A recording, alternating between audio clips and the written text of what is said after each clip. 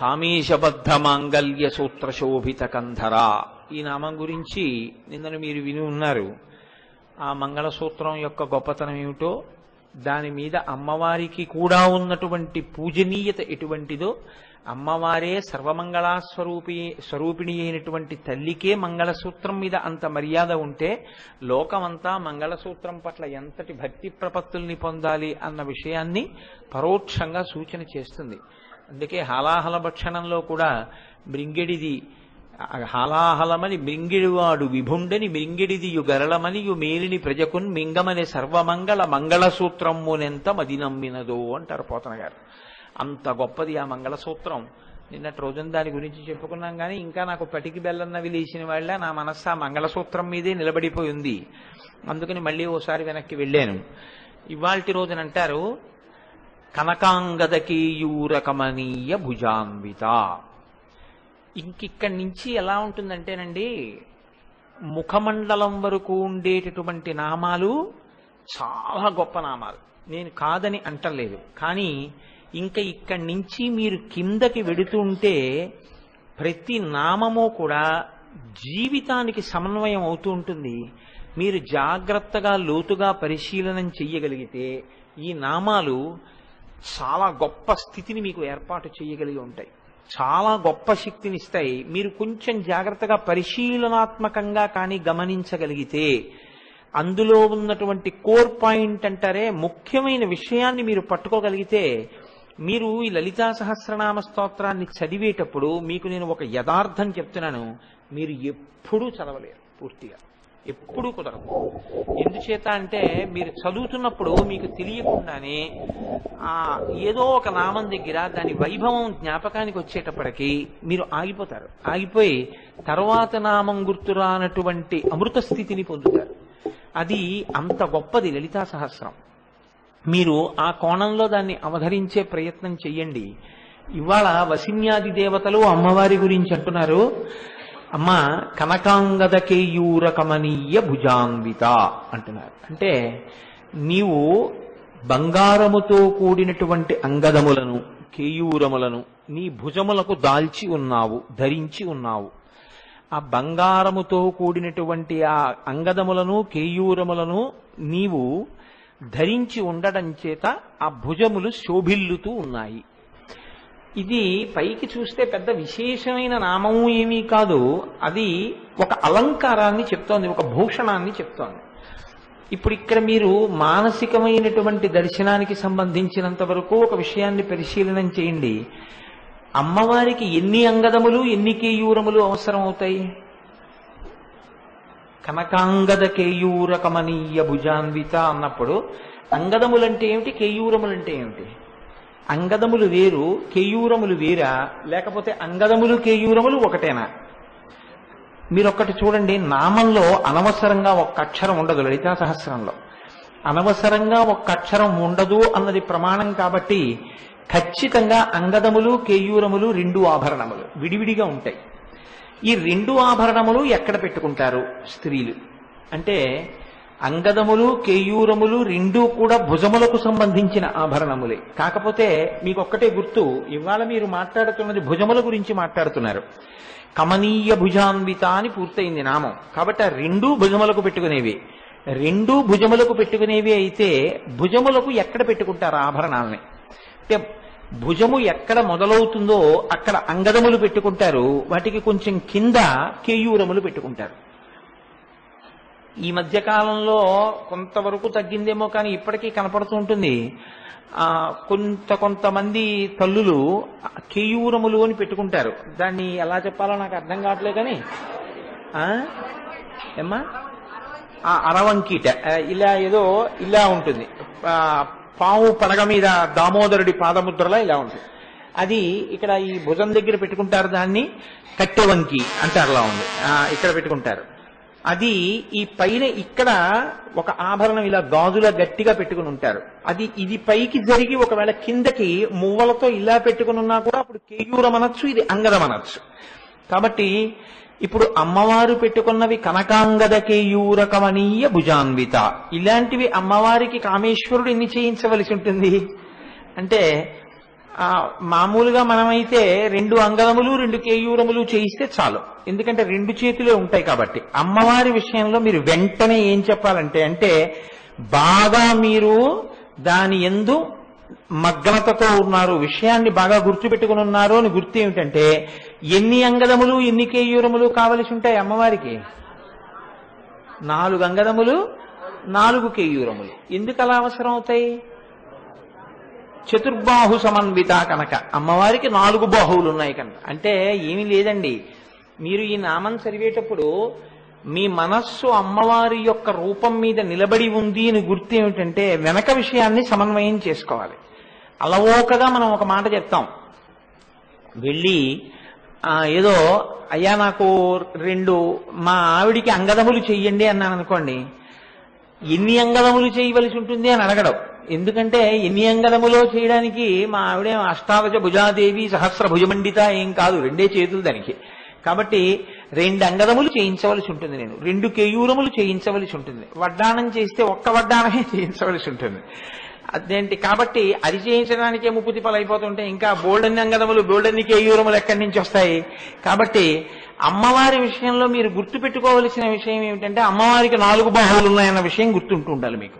గుర్తుంటే ఇప్పుడు మీరు నాలుగు అంగదములు నాలుగు కేయూరములు అమ్మవారు ధరించి ఉంటుంది. ఇప్పుడు అమ్మవారు నాలుగు అంగదములు నాలుగు కేయూర కేయూరములను ధరిస్తే మీకేమైనా వస్తుందా? కొంచెం ఆలోచించండి జాగ్రత్తగా. మీకు ఎందు ఎంతవరకు పనికి వస్తుందంటే బాగుందండి చాలా బాగా పెట్టుకుంది చక్కగాను చాలా సంతోషంగా ఉంది. చూడడానికి చాలా ముచ్చటగా ఉంది అని చెప్పడానికి పనికి వస్తుందేమో బహుశా. లేకపోతే ఆ భుజముల వంక చూసి సంతోషించిన కారణం చేత అమ్మవారి వంక చూసి సంతోషించడమే జీవితంలో చాలా గొప్ప విషయం కాబట్టి అది ప్రయోజనాన్ని నెరవేర్చవచ్చు. నేను కాదని అనలేను. కానీ అది మాత్రమే దాని ప్రయోజనమని మీరు నిర్ధారించకూడదు. దాని వెనక ఏదో ప్రయోజనం ఉంటుంది. ఏ ప్రయోజనాన్ని ఆశించి బహుశా వసిన్యాది దేవతలు ఇలా చెప్తున్నారు. అంటే ఇందులో రెండు విషయాలు నిక్షిప్తమై ఉన్నాయి. ఒకటి స్తోత్రము కేశాది పాదాది పర్యంతం జరుగుతోంది. అంటే అమ్మవారిని తల దగ్గర నుంచి మొదలుపెట్టి పాదముల వరకు వెడుతోంది. ఇందులో అమ్మవారి కంఠం వరకు వచ్చేటప్పటికి ఒక ప్రశస్తమైనటువంటి ఒక కూటము పూర్తవుతుంది. ఇంకా ఇక్కడి నుంచి మొదలయ్యేటటువంటి దాంట్లో పాదముల వరకు వచ్చేంత వరకు ఆ నామములు అలా వర్ణన చేస్తూ వెళ్ళిపోతుంటాయి. వెళ్ళిపోతున్నప్పుడు పాదముల దాకా వచ్చేంత వరకు తదనంతరం అసలు ఇంకా చాలా గొప్పదైన వైభవలహరి మొదలైపోతుంది. దీన్ని లావణ్యలహరి అంటారు పాదముల వరకు వెడితే. ఇందులో ఏ ఒక్క నామమును విడిచిపెట్టకుండా ప్రతిరోజు వింటున్నారనుకోండి. వింటుంటే మీకు తెలియకుండానే మీ జీవితంలో మీకు గొప్ప ప్రయోజనం వస్తుంది. ఏమిటో తెలుసా అండి? వసిన్యాది దేవతలు ఏ ప్రయోజనాన్ని ఆశించి ఈ విషయాన్ని చెప్పారో ఎందుకు అమ్మవారు దీన్ని చెప్పించిందో ఆ ప్రయోజనాన్ని అందుకున్న వ్యక్తుల్లో ఒకరుగా మీరు నిలబడతారు. అప్పుడు మీకు తెలియకుండానే మీరు అమ్మవారి యొక్క స్థూల స్వరూపాన్ని కేశాది పాదాది పర్యంతం వాగ్రూపంలో వింటూ ఉండడం చేత ఎదురుగుండా అమ్మవారు కనపడకపోయినా ఇక్కడ అమ్మవారు కదులుతుంది. చిదగ్నికుండ సంభూత. చిత్ అనేటటువంటి అగ్నిగుండంలో ఇక్కడే కనపడుతుంది. ఇక్కడే కనపడడంలో తల దగ్గర నుంచి పాదాల గోళ్ళ వరకు మీరు ఇక్కడ చూశారనుకోండి అసలు యథార్థమైనటువంటి శ్రవణము యథార్థమైన దర్శనము మీ జీవితంలో మీరు చేశారనమాట అందుకని ఇది లావణ్యలహరి అంటారు దాన్ని. అందులో ఇవాళ మనం ఎక్కడున్నాం భుజముల దగ్గర ఉన్నాం. కాబట్టి మొదటి ప్రయోజనం అది కేశాది పాదాది పర్యంతం వెళ్ళవలసినటువంటి స్తోత్రం కాబట్టి అందులో భుజములను గురించి మీరు ఇవాళ వింటున్నారు. కాబట్టి ఒక ప్రయోజనం. రెండవ ప్రయోజనం కేవలము భుజములను చూడడం వల్ల వచ్చేటటువంటి ప్రయోజనం గొప్పది కాదని అనలేకపోయినా దాని యొక్క అర్థాన్ని సమన్వయం చేసే ప్రయత్నం మీరు లోపల నిలబెట్టుకునే ప్రయత్నం చేయడం. మీకు ఎప్పుడైనా చూడండి ఇప్పుడు అమ్మవారు నాలుగు కేయూరములు నాలుగు అంగదములు దాల్చిన భుజములతో శోభిల్లుచున్నది అని నేను ఈ నామం చెప్పేసి నేను తరువాతి నామానికి వెళ్ళిపోవచ్చు. అది పెద్ద విశేషం ఏం కాదు. కానీ వెళ్ళిపోతే ఏమవుతుందంటే మీకది బాగా దృష్టిలో నిలబడుతుందా అన్నది అనుమానాస్పదం. దీన్ని మీరు బాగా లోతుగా ఒక రెండు గంటలో గంటన్నరో విన్నారనుకోండి మీకు అమ్మవారి భుజములు అనేటప్పటికీ కొన్ని కాకపోతే కొన్ని విషయాలైనా జ్ఞాపకంలో ఉంటాయి. ఆ జ్ఞాపకంలో ఉండడం ఏం చేస్తుందంటే మళ్ళీ అమ్మవారి యొక్క భుజ దర్శనం మీకు చేయిస్తూ ఉంటుంది. మీరు బాగా జ్ఞాపకం పెట్టుకోవలసిన విషయం ఏమిటంటే శరీరంలో ప్రధానంగా శరీరం అంతా కదిలి ఒక చోటు నుంచి ఒక చోటికి గమ్యాన్ని చేరడానికి ఉపయోగపడేటటువంటి ప్రధాన సాధనములు కాళ్ళు. కాళ్ళు గమ్యం చేరుస్తాయి. ఇవి ఉండబట్టే నేను ఇప్పుడు మా ఇంటి నుంచి బయలుదేరి ఇక్కడికి వచ్చాను అదేమిటయా దొరగారి కారెక్కి కదా వచ్చావు అని మీరు అడగచ్చు. కానీ దొరగారి కారు ఎక్కడానికి నేను కారు దాకా వచ్చానా లేదా? దొరగారి కారు దిగి వేదిక దాకా నడిచి వచ్చానా లేదా? ఈ మెట్లెక్కొచ్చి మళ్ళీ ఇక్కడ కూర్చున్నానా లేదా? ఇవి ఉన్నాయి కాబట్టే నేను మళ్ళీ ఇంటికి వెళ్ళిపోగలను అని ఒక ధైర్యం ఉందా లేదా? రేపు పొద్దున్న దొరగారి కారు ఏ కారణం చేతనైనా నేను వేరొక పని మీద వెళ్ళేటప్పుడు రాకపోయినా నేను నడుచుకుంటూ వెళ్ళగలను కదా. ఒక శివాలయానికి దర్శనానికి వెడతాను. దొరగారింటికే వెడతాను. అప్పుడు దొరగారి కారెక్కి దొరగారింటికి వెళ్ళను కదా. నడుస్తూ వెడతాను. కాబట్టి ఎప్పుడైనా నా మనస్సులో ఒక చోటికి చేరాలనేటటువంటి ఆలోచన రాగానే నన్ను చేర్చగలిగినటువంటి శక్తి ఉన్నవి కాళ్ళు. పాదములు గమ్యాన్ని చేరుస్తాయి. చేతులు మీరు అనుకున్నటువంటి పనిని చేయిస్తాయి మీరు తేడా కొంచెం కనిపెట్టాలి. చేతుల వలన ఏం జరుగుతుంది? అంటే మీరు ఏదనుకున్నారో అది పూర్తవుతుంది. ఒక ఉదాహరణకి నేను అన్నం తినాలనుకుంటున్నాను అన్నాను అనుకోండి అన్నం తినడం దేనికి సంబంధించిన పని అని అడిగారు అనుకోండి నోటికి సంబంధించిన పని. కానీ నోటికన్నా కూడా ముందు నోరు నవలడానికి ఏది ఆధారం ఉండాలి అన్నం తినడంలో? చెయ్యే. నేను ఆఫీస్కి వెడుతున్నాను. ఆఫీస్కి వెళ్ళడంలో కేవలము కాళ్ళతో సరిపోదు. మీ ప్రమేయం లేకుండా ఊగుతాయి చేతులు. చేతులు ఊగితేనే మీరు తేలిగ్గా నడవగలుగుతారు. చేతులు ఊపకుండా నడిచిన నడక చాలా విచిత్రంగా ఉంటుంది అసలు. నేను నువ్వేం చేశావు ఆఫీస్లో? పని చేశాను. పని చేశాను అన్న దాంట్లో సింహభాగం దేంతో చేస్తారంటే చేతులతోటి. మీరు బాగా జ్ఞాపకం పెట్టుకోండి. భుజము అన్న మాట తర్వాత చేతుల వరకు ఇంకా చెప్పలేదు లలితా సహస్రంలో. కాబట్టి ఇప్పుడు భుజములు అన్న దగ్గర మీరు చేతులు వరకు సమన్వయం చేసుకుంటే కదిలేటటువంటి చేతుల చేత మనకి రెండు ఫలితములు కలుగుతూ ఉంటాయి. బాగా జ్ఞాపకం పెట్టుకోండి విషయాన్ని. మీ యొక్క ఉత్తర జన్మ నిర్ణయింపబడడానికి ప్రధాన హేతువులు ఇవి. మీ చేతులే. మీ యోగము మీ క్షేమము మీ వెనక ఉన్న వారి యొక్క యోగము క్షేమము దేని మీద ఆధారపడి ఉంటుంది? ఈ చేతుల మీదే ఆధారపడుతుంది. ఈ చేతులతో చేసినటువంటి పనులు మంచి పనులు అనుకోండి ఈ చెయ్యి ఇచ్చినందుకు నేను నన్ను నమ్ముకున్న వాళ్ళు క్షేమంగా ఉంటాం.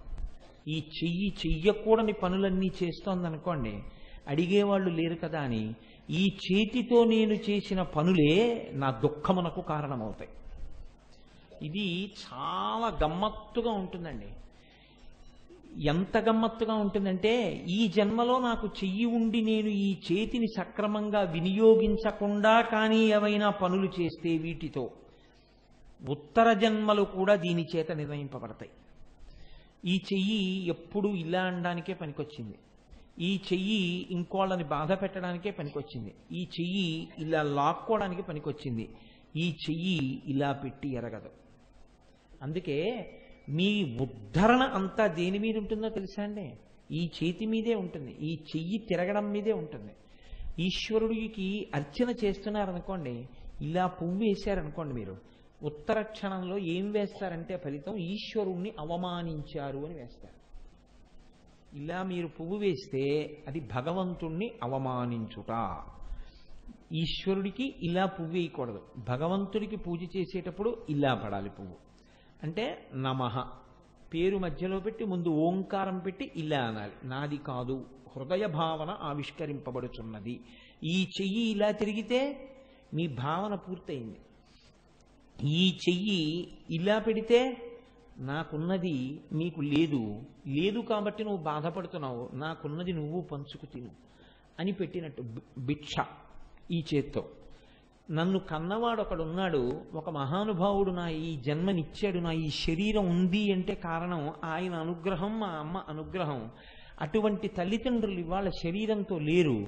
ఏడాదికొక్కసారి ఆ పుణ్యతిథి నాడు వాళ్ళ యొక్క శరీరములకు నేను ఉపశాంతి కల్పించడం కోసమని ఆ పితృదేవతలకు తర్పణ విడిచిపెడుతున్నాను ఇలా. తర్పణ విడిచిపెడుతున్నప్పుడు ఇలా విడిచిపెడతారు. కాబట్టి ఈ చెయ్యి ఇలా తిరిగి ఉంటే మీకున్న సంపదని లేని వారితో పంచుకుని మీరు ఉద్ధరణ పొందుతున్నారు. ఈ చెయ్యి ఇలా అంటే ఈశ్వరానుసంధానం చేసుకుంటున్నారు. ఈ చెయ్యి ఇలా అంటే పితృకార్యాన్ని నెరవేరుస్తున్నారు. ఈ చేత్తో ఇలా అంటే పాపాన్ని మూట కట్టుకుంటున్నారు. ఈ చేతి ఈ చెయ్యి మీ భావములను ప్రకటనం చేస్తుంది. ఈ చెయ్యి మీ పాప పుణ్యములకు నిలయమై ఉంటుంది. ఈ చెయ్యి ఎన్ని రకాలుగా కదులుతోందో అన్ని పుణ్యపాపములు మీరు రోజు చేస్తున్నట్లే. ఒక్కటే గుర్తు. అందుకే సృష్టి మొత్తం మీద మూడు ప్రాణులకే చెయ్యి. నాలుగో ప్రాణికి ఇంకా చెయ్యి లేదు. చేత్తో మాత్రమే అన్నం తిను అని వేదం చెప్తుంది. ఎందుకో తెలుసా అండి? అన్నం కానీ మీరు తినే ఏ పదార్థాన్ని కానీ ఉపకరణమును వాడి తినకూడదు. చెంచాలతో తినడం ఫోర్కులతో తినడం మనకి సనాతన ధర్మంలో లేదు. ఎందుకు లేదో తెలుసా అండి? ఒక్కటే కారణం. ఈశ్వరుడు అరచేతి ఎందు అమృతాన్ని ఉంచుతాడు. అరచేతి ఎందు కుడి చెవి ఎందు అమృతం ఉంటుంది. పూజ చేసేటప్పుడు నవరంధ్రములలో ఎటువైపు నుంచైనా గాలి బయటికి పెడితే ఆ పూజ అక్కడతో పూర్తయిపోతుంది. ఆ తర్వాత చేసిన పూజ పూజ కింద లెక్క వేయరు. అందుకని స్నానం చేసి వచ్చి మళ్ళీ ఆచమనం చేసి పూజ చేయాలి. ఇలా నేను ఎక్కడ చేస్తానండి అస్తమానం ఆచమనం అంటారని కుడిచెవి ఎందు అమృతం ఉంటుంది. కుడిచెవి మీద ఇలా చేతితో మూస్తే వాడు మళ్ళీ స్నానం చేసి వచ్చి కూర్చుని పూజ చేసినట్టే లెక్క. అలాగే అరచేతి ఎందు అమృతం ఉంటుంది. పిల్లలు తినేటప్పుడు చిన్నతనంలో ఒరే కింద పొయ్యకు నువ్వు ఎంత ఎత్తితే నిన్ను అంత ఎత్తుతుంది అన్- అన్నపూర్ణమ్మ అంటారు. అని చక్కగా చెయ్యంతా తగిలేటట్టుగా కలుపుకోరా అనేవారు మమ్మల్ని చిన్నప్పుడు. మునివేళ్ళ తిండేమిట్రా అనేవారు. ఇలా ఇలా తింటే ఒప్పుకునేవారు కాదు. చేత్తో ఇలా కలుపుకుని ఇక్కడ వరకు అంటుకోవాలి. చెయ్యి కడుక్కున్న తర్వాత చేతిని వాసన చూస్తే వాడు తిన్న పదార్థం తెలియాలి.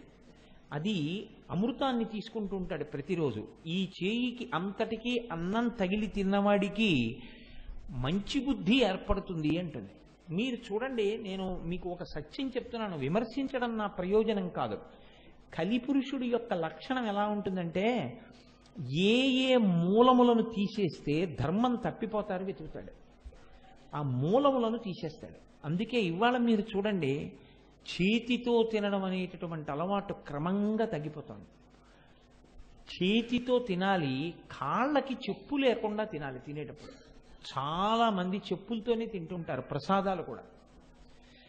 ఈ చేత్తో ఇలా కలుపుకు తినరు. చెంచాతోటే తింటుంటారు. ఈశ్వరుడు నీకు చెయ్యిచ్చింది ఎందుకు? ఈ చెయ్యి అందరికీ ఇవ్వలేదు. మూడు ప్రాణులకు మాత్రమే ఇచ్చాడు. ఇక నాలుగో ప్రాణికి లేదు చేత్తో తినడానికి. అందులో మళ్ళీ రెండు ప్రాణులు తిన్న తర్వాత కడుక్కోవడం తెలియదు.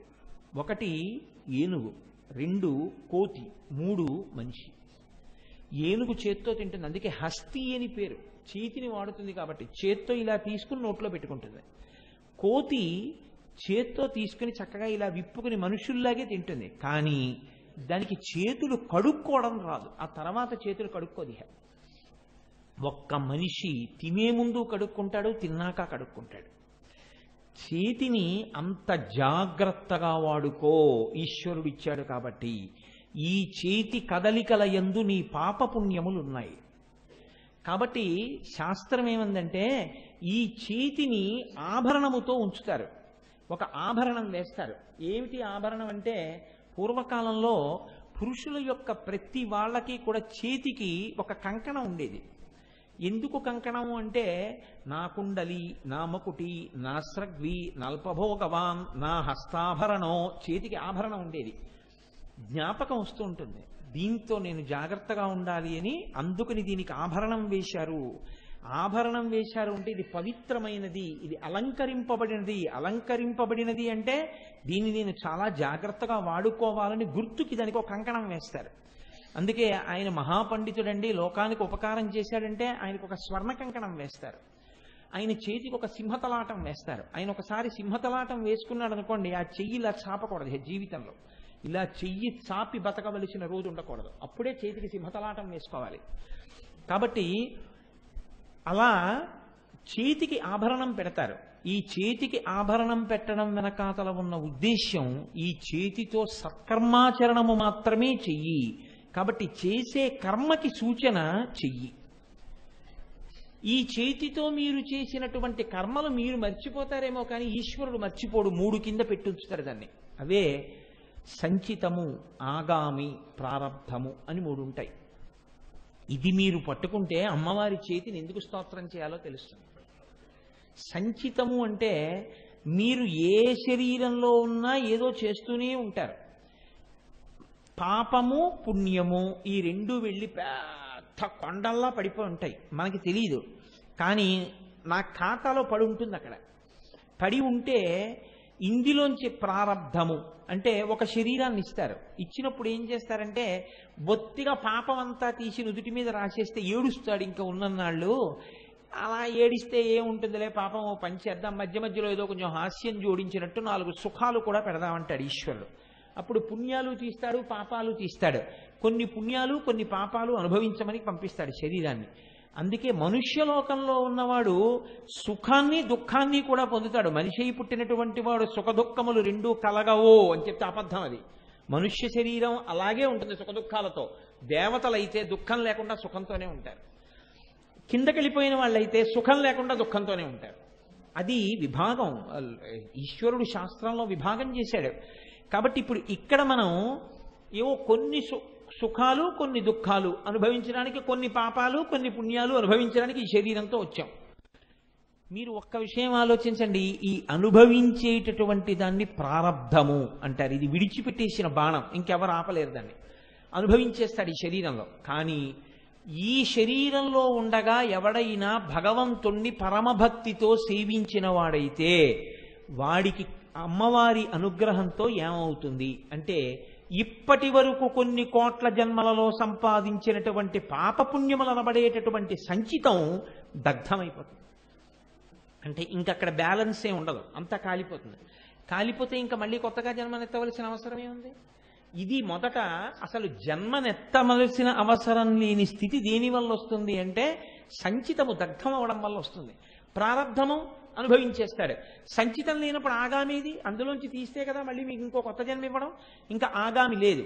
సంచితము వలన ఆగామి పోయింది. ప్రారంధం అనుభవించేశారు. సంచిత ఆగామి ప్రారంధములు అయిపోయాయి. ఇంక ఇప్పుడు సుఖం సుఖము వాడికి పుణ్యము లేదు పాపము లేదు. పుణ్యం ఉన్నా దేవతగా రావాలి. పాపం ఉంటే తిరియకుగా రావాలి.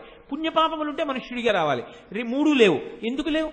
అంటే ఏది చేసినా వేదం ఏది చెప్పిందో అది చేస్తాడు. నేను చెయ్యలేదని ఈశ్వరుడికి ధారపోసేస్తాడు. ఇప్పుడు ఆయనకి పుణ్యమేది పాపమేది? ఆయనకేం లేవు. రెండు సున్నా. జ్ఞానాగ్ని దగ్ధ కర్మాణం. కాబట్టి ఇప్పుడు ఆయనకి ప్రారంధం అయిపోయే వరకు శరీరంలో ఉంటాడు. ప్రారంధం అయిపోతుంది రోజున. ఆ శరీరాన్ని వదిలిపెట్టేస్తాడు. వదిలిపెట్టేసిన తర్వాత ఇంకా మళ్ళీ వస్తాడా? ఇహ రాడు ఇది మనం అనుభవించేదైతే ఈ సంచితము ఆగామి ప్రారంధము లెక్క కట్టి కాల్చేది ఈ జన్మలో ప్రారంధాన్ని జ్ఞానంతో సాక్షిగా అనుభవింపచేసేది మళ్ళీ జన్మ ఎత్తనవసరం లేకుండా చూసేది ఏ చెయ్యి? ఇది అనుభవించే చెయ్యి అయితే ఇది పాపపుణ్యాలు కూడబెట్టుకునే చెయ్యి అయితే ఈ లెక్కలు కట్టి ఫలితాలు ఇస్తున్న చెయ్యేది ఈ ఫలితాలను ఇచ్చి అనుభవింపచేస్తున్న చెయ్యేది ఇలా మనం భక్తితో ఉంటే ఇంకా మళ్ళీ పుట్టవలసిన అవసరం లేనటువంటి జ్ఞానం ఇస్తున్న చెయ్యేది? ఆ చెయ్యి అమ్మవారి చెయ్యి. ఇప్పుడు మీరు పట్టుకున్నారో లేదో ఆ చేతి కదలికలు మన విడుదలకు హేతువులు. ఆ చేతి కదలికలు మన సుఖములకు హేతువులు. ఆ చేతి కదలికలు మన పాపములను క్షమింపబడడానికి హేతువులు. ఈ చేతి కదలికలు ద్వంద్వములకు హేతువులు. పాపము పుణ్యము రెండిటికీ హేతువులు. ఇంత చెప్పిన నేను ఇంటికి వెళ్ళి ఎవరి మీద దెబ్బలాడి ఇలా అన్నాను అనుకోండి అయిందంతే నా ఖాతాలో పడింది పాపం. కాబట్టి మనస్సు అనేటటువంటి దాన్ని నిగ్రహించనంతసేపు ఇది చెయ్యవలసిందే ఉండదు. దీనికేం స్వాతంత్రం ఉండదు. మనస్సు ఎలా ప్రకోపం చెందితే ఇది ఎలా ఆడుతూ ఉంటుంది. ఇది అలా ఆడుతున్న కొద్దీ పాపం పుణ్యం పడుతూ ఉంటుంది.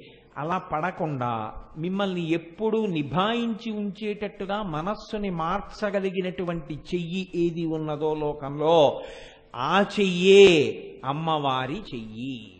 ఇప్పుడు మీరు ఒకటి బాగా జ్ఞాపకం పెట్టుకోండి గుర్తుపట్టండి. నేను ఒకటి చెప్తాను. అసలు మనం ఇందులో ఉన్నామంటే ఏది కారణం?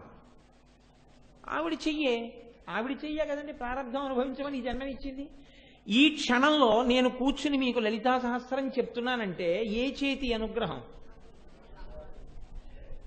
ఈ జన్మలో ఎన్ని కోట్ల జన్మల తర్వాతో బయట వాన పడుతున్నా అయ్యో తడిసిపోతామేమో అని కూడా చూసుకోకుండా మేము లలితా సహస్రం వినవలసిందే అని మీరు రాగలిగారంటే ఇవాళ ఏ చేతి అనుగ్రహం మీకు కలిగితే వచ్చి కూర్చున్నారు? ఆ చేతి అనుగ్రహం కలిగితే వచ్చి కూర్చున్నారు. మరి ప్రతి క్షణం మీకు దగ్గరగా ఉన్నది ఏ చెయ్యి అప్పుడు? ఆ చెయ్యి. మరి ఆ చేతిని మీరు ఎందుకు గుర్తించలేకపోయారు ఇన్నాళ్ళు? గుర్తించలేకపోబట్టి కదా ఇన్ని జన్మలు వచ్చాయి అది గుర్తిస్తే ఆభరణంతో శోభించినట్టు.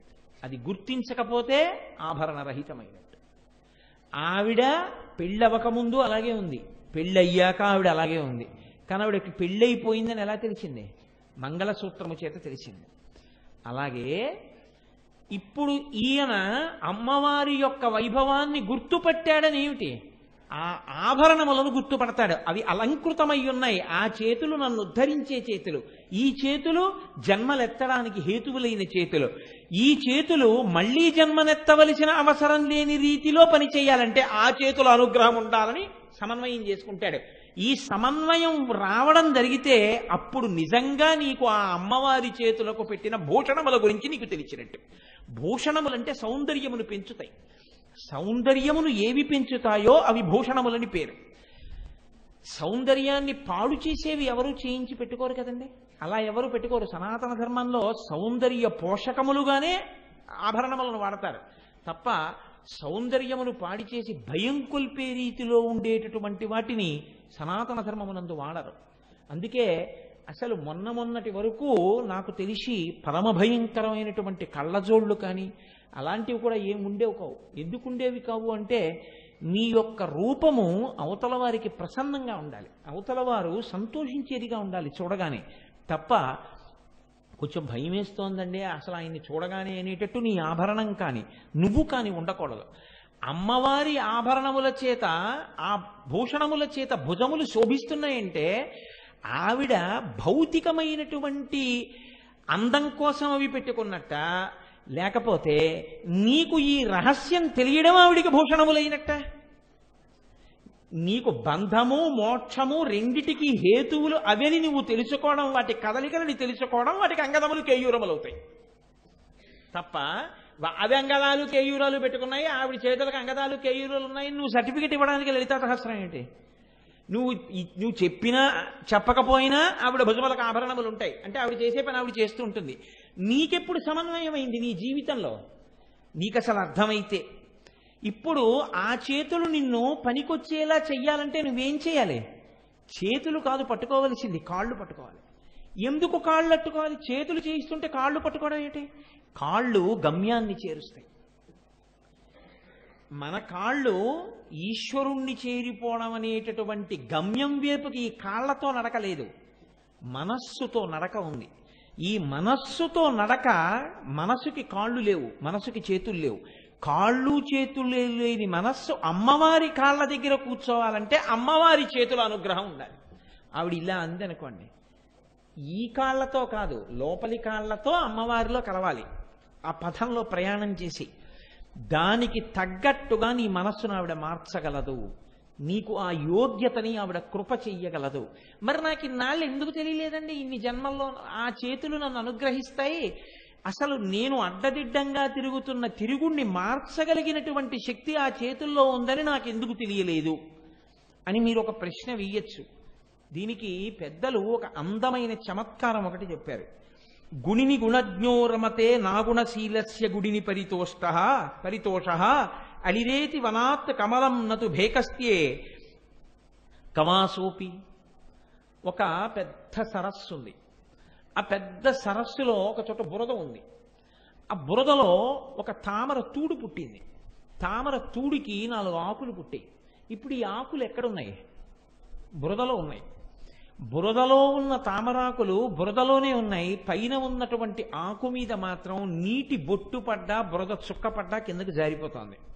బురదలోనే ఉన్న తామరాకు స్వచ్ఛంగా ఆకుపచ్చంగా మెరుస్తోంది. ఈ ఆకు మధ్యలోంచి ఒక నాళం అలా పైకి లేచింది. ఇప్పుడు ఈ నాళం పైభాగంలో ఒక మొగ్గ పుట్టింది. ఈ మొగ్గ పుట్టినప్పుడు ఈ తామర కాడ తామర దుంప పడకముందు ఆ సరోవరంలో కప్పు ఉంది. ఈ దుంప పెద్దదవుతుంటే కప్ప పెద్దదవుతోంది. దానికి ఒక నాళం పుట్టింది. కప్ప పెద్దదైంది ఈ నాళం మీద తామర మొగ్గ పుట్టింది కప్ప పెద్దదైంది. ఈ తామర మొగ్గ దేనికి కదలలేదు? బురదలోంచి పుట్టినటువంటి మొ దుంపలోంచి పైకొచ్చినటువంటి తామర మొగ్గ సూర్యకిరణములకు విచ్చుకుంది. ఈ విచ్చుకున్న తామర పువ్వులో ఏముంది? మకరందం ఉంది తేనె ఉంది. కప్ప అక్కడే ఉంది. దుంప పుట్టినప్పటి నుంచి కప్ప అక్కడే ఉంది. తామర పువ్వు కప్ప తర్వాత వచ్చింది. వచ్చి పైకొచ్చి పువ్వు పూసింది. బురదే ఆలవాలమైనటువంటి కప్ప బురదే ఆలవాలమైనటువంటి తామర పువ్వు రెండు అయినా బురదలో పుట్టిన తామర పువ్వులో తేనొచ్చింది. బురదలోంచి పుట్టిన తామర పువ్వులో తేనొస్తే బురదలోనే ఉన్న కప్ప పట్టుకోగలిగిందా? అందులో తేనుందని ఎప్పుడూ తాగే ప్రయత్నం చేయలేదు. పక్కన ఎక్కడో అరణ్యంలో ఉన్న ఒక తుమ్మిని తెలుసుకుంది ఈ బురదలో పుట్టిన తామర పువ్వులో తేనె ఉంది అని. అది అక్కడి నుంచి వచ్చి ఈ తామర పువ్వు మీద వాలి తేనె తాగింది. పక్కనే ఉన్న కప్ప తెలుసుకోగలిగిందా? తెలుసుకోలేకపోయింది. అందరూ దీంట్లోనే ఉన్నా అందరికీ అమ్మవారి చేతుల అనుగ్రహం గురించి తెలుసుకునే అవకాశం ఉండదు. కప్పలుగానే చాలామంది ఉండిపోతారు. ఎవరికి తెలుస్తుంది అమ్మవారి గురించి? ఎక్కడో ఉన్నా తామర పువ్వులో తేనె తాగడానికి అడవిలోంచి తుమ్మెద వచ్చినట్టు. ఎవరికి అమ్మవారి అనుగ్రహం కలుగుతుందో వాళ్ళు మాత్రమే లలితా సహస్రంలో నామాల అంతరార్థాల్ని విని అన్వయం చేసుకోగలుగుతారు. కాబట్టి నాకెందుకు ఇన్నాళ్ళ తెలియలేదండి నాకెందుకు ఇన్నాళ్ళ ఆ చేతుల గురించి తెలియలేదు. నువ్వు ఇన్నాళ్ళు కప్పగా ఉన్నావు. ఇవాళ నువ్వు తెలుసుకుంటున్నావంటే అమ్మవారి అనుగ్రహంతో ఇంతకాలానికి నువ్వు తుమ్మెద కాగలిగావు. నువ్వు తుమ్మెదగా ఆ పువ్వు మీద వాలి ఉండాలని కోరుకుంటే ఆ తేనె తాగాలని కోరుకుంటే నీ అదృష్టం. కాక నీవు అలా ఎగిరి వెళ్ళి పద్మము మీద ఉండవలసిన దానివి పద్మము మీద ఉండకుండా పక్కన ఉన్నటువంటి తుమ్మి చెట్టు మీద తుమ్మ చెట్టు మీద వాలి వాలి కూర్చున్నావా? నిన్ను తొండో కాకో తినేస్తాయి. కాబట్టి తుమ్మిదవయ్యున్నందుకు పద్మం మీదే ఉండు. పద్మం మీదే ఉంటే నీకు తేనె దొరుకుతుంది. తుమ్మ చెట్టు మీద వాలే ప్రయత్నం చేశావా? తొండకో కాకికో ఆహారం అవుతావు. ఒకసారి తెలిసింది మార్చుకోవడం నీ జీవితం నీ వంతు. కాబట్టి కప్పకి తెలియంది తుమ్మెదకి తెలుసున్నట్టు కొంతమందికి మాత్రమే ఆ చేతుల యొక్క వైభవం తెలుస్తోంది. ఎవరు తెలుసుకున్నాడో వాడు ధన్యత పొందుతున్నాడు. కాబట్టి ఆ నామం చెప్పగానే ఆ- ఆ చేతులకు ఇప్పుడు ఆభరణములు ఉండాలా వద్దా?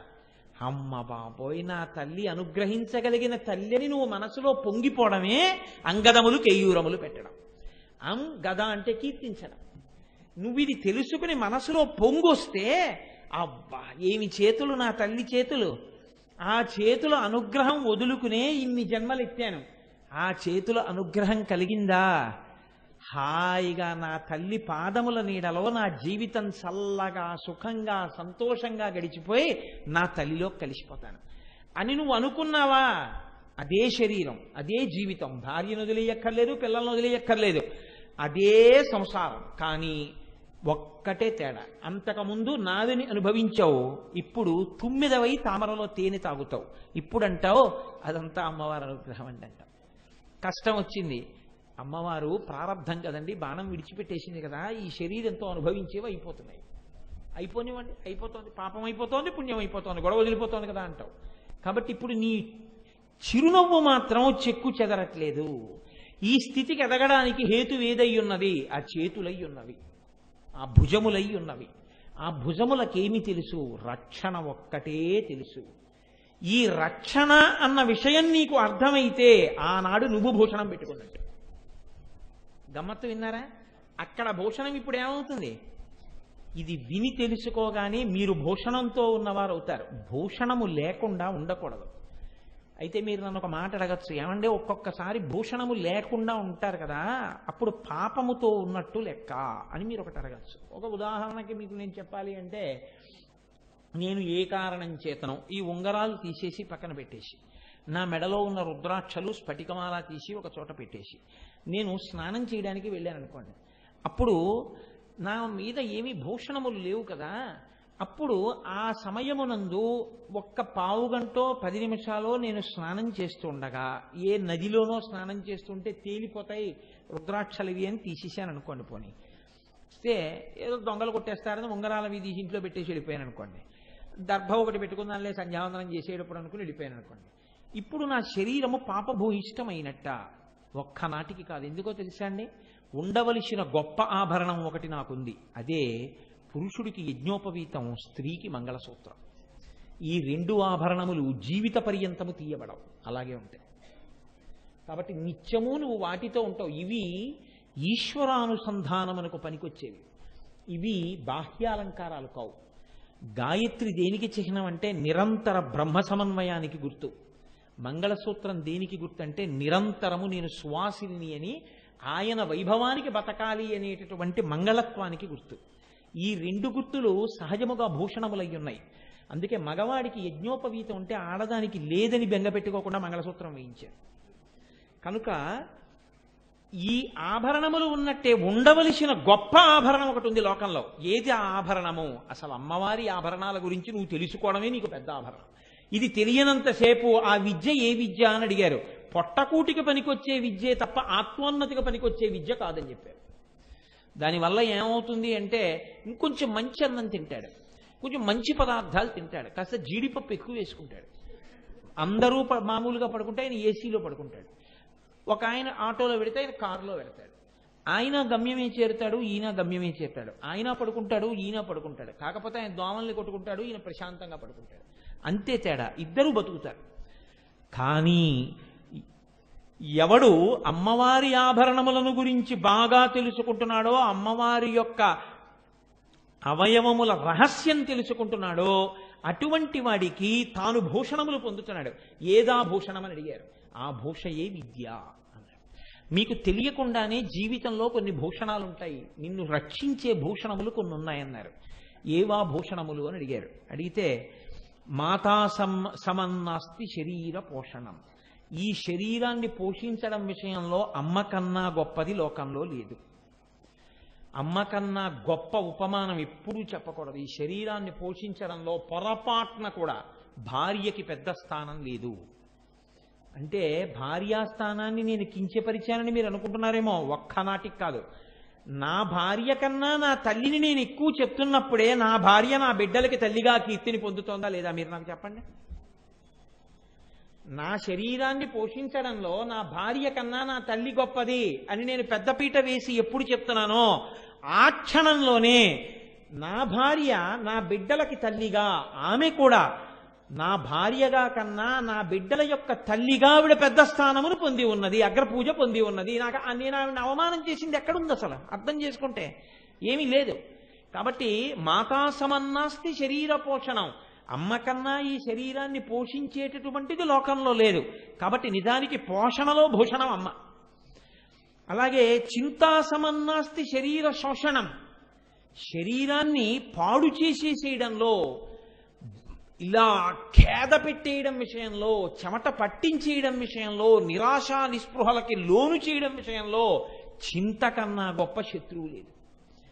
భార్యాసమన్నాస్తి శరీరతోషణం శరీర ఈ శరీరానికి సుఖాన్ని ఇవ్వడానికి తుష్టిని ఇవ్వడానికి సుఖము తుష్టి రెండింటిని కల్పించడానికి భార్య కన్నా గొప్ప సాధనం లేదు. విద్యాసమన్నాస్తి శరీరభూషణం శరీర భూషణం. ఎవరు విద్యని కలిగి ఉన్నాడో దాన్ని మించినటువంటి భూషణం శరీరానికి ఇంకోటి ఉండదు నువ్వు ఎవరివై ఉన్నావు ఏ కులంలో పుట్టావు ఏ జాతిలో పుట్టావు ఇది కాదు. విద్య యందు అధికుడు ఏ విద్య? ఆత్మ విద్య యందు. భగవంతుణ్ణి గురించి తెలుసుకుని తన జీవితానికి సమన్వయం చేసుకోవడంలో ఆయనకు ఆయనే సాటి. ఇప్పుడు ఆయన అందరికన్నా గొప్పగా భూషింపబడినవాడు. ఆయన పెద్ద భూషణములు పెట్టుకున్నవాడు. ఈ విద్య ఎక్కడి నుంచి వస్తోంది? ఈ విద్య సిలబస్తో వచ్చేది కాదు.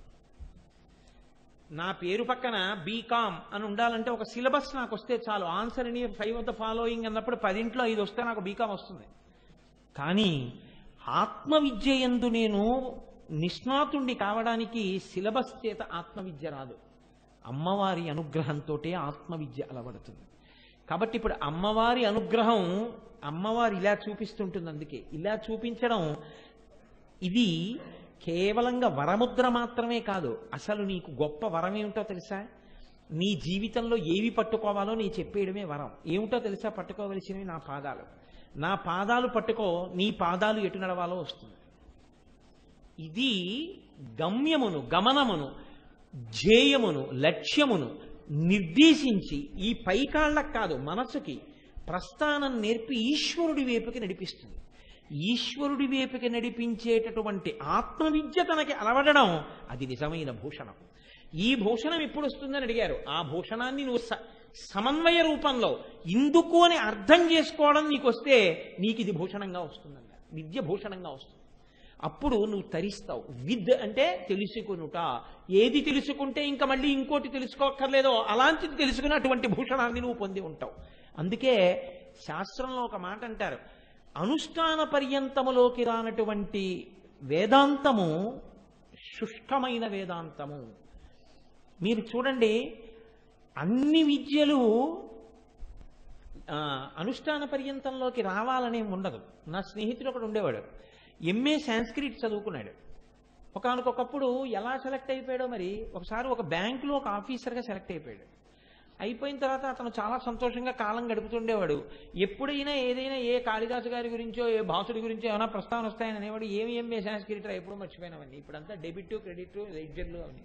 ఇప్పుడు చెప్పండి అతను చదువుకున్న విద్య అతనికి అన్నం పెడుతోందా? అతను వెళ్ళి నేర్చుకున్న తర్వాత నేర్చుకున్న విద్య అన్నం పెడుతోందా నిజానికి? ఒకనాడు నువ్వు చదువుకున్న విద్య నీకు సార్థకతకు పనికి రాకపోవచ్చు. అది నీకు ఉపయుక్తం కాకపోవచ్చు నువ్వు ఉద్యోగంలో చేరడానికి పనికొచ్చింది. ఆ తర్వాత ఉద్యోగంలో చేయిన తర్వాత ఆ ఉద్యోగానికి సంబంధించిన విషయాలు నీకు బాగా వచ్చి ఉండాలి. అప్పుడు ఎప్పుడో నాకు గోల్డ్ మెడల్ ఉందండి ఇప్పుడు నేను పని చేయనండి అంటే ఒప్పుకోరు.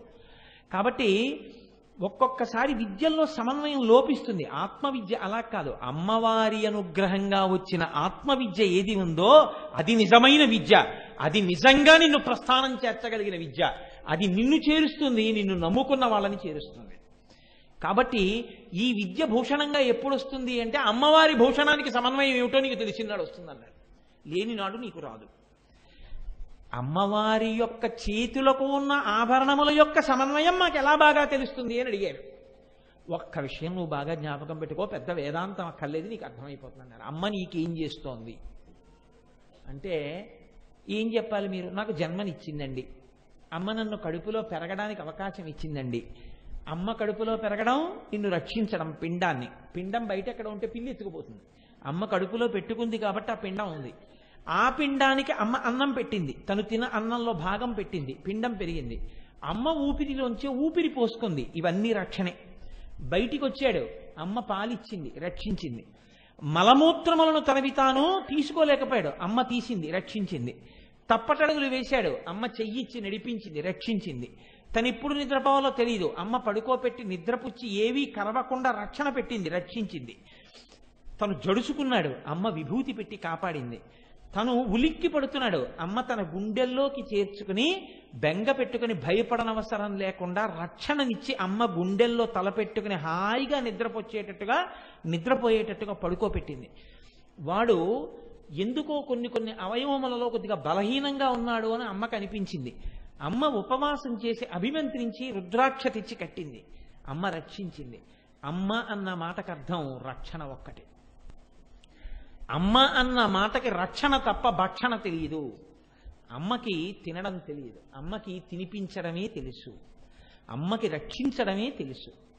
అమ్మకి రక్షించడమే తెలుసు అని నువ్వు అనుకుంటే నిన్ను పెంచినటువంటి అమ్మ పెంచడం అంతా రక్షించడం అంతా చేతులతోటే ఉంది. పాలు అమ్మ స్తన్యములలోంచి ఇచ్చినా ఎత్తి పడుకోబెట్టుకున్నది చేతులతోనే కదా. అందుకని నీ రక్షణ అంతా అమ్మ చేతులతో చేసినట్టే అమ్మ కూడా రక్షణ అంతా చేతులతోనే చేస్తోంది.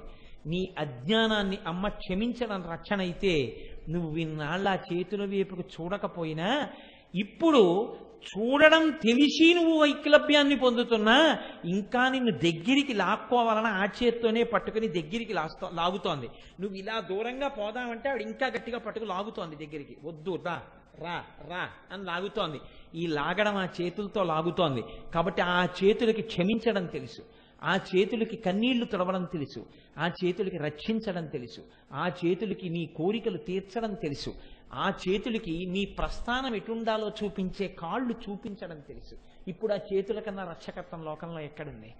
ఈ రక్షకత్వం కలిగిన చేతులు అని మీరు గుర్తెరగాలని మహాపురుషులైనటువంటి వారు తాము అను- అనుభవించినటువంటి విషయాల్ని అరమరిక లేకుండా గ్రంథస్థం చేశారు. మీకు నేను ఒక్క ఉదాహరణ చెప్తాను. కొంచెం జాగ్రత్తగా పట్టుకోగలిగితే లోకంలో ఎవడైనా తన గొప్ప చెప్పుకుంటాడు. నేను ఇంతవాడినండి నేను అంతవాడినండి అని చెప్తాడు. తన జీవితంలో తాను భంగపడ్డ విషయాలు తాను తప్పు చేసిన విషయాలు చెప్పడం. ఎవడు చెప్తాడో తెలుసా అండి? ఎవడు మహాత్ముడో వాడు ఒక్కడే చెప్తాడు. ఎందుకని చెప్తాడంటే అసలు తప్పు చెయ్యని వాడికి ఒప్పు గొప్ప ఎప్పుడు తెలుసు? కాబట్టి నేను తప్పు చేశానని చెప్పుకుంటాడు. నేను తప్పు చెయ్యబోయానని చెప్పుకుంటాడు. అది చూసిన వాళ్ళు లేరు. లేకపోయినా ఆయన చెప్పేసుకుంటాడు. నాకు ఒక్కొక్కసారి మహాత్మా గాంధీ గారి జీవిత చరిత్ర చదువుతుంటే ఆశ్చర్యంగా ఉంటుంది. ఇవాళ జీవిత చరిత్రలు అంటే ఏమిటంటే అసలు ఆవిష్కరణ జరగకముందే పెద్ద పెద్ద వివాదములకు హేతువు లేవో అవి. పనికి మాలినటువంటి చర్చ చర్చలు మహాత్ముడు హే రామ్ అన్నాడా అనలేదా? ఆయనలా బతకడం నీకు వచ్చా ఒక్కడుగు నువ్వెవడిగా ఆయన అన్నాడో లేదో ఇన్నాళ్ళ తర్వాత సర్టిఫికెట్ ఇవ్వడానికి?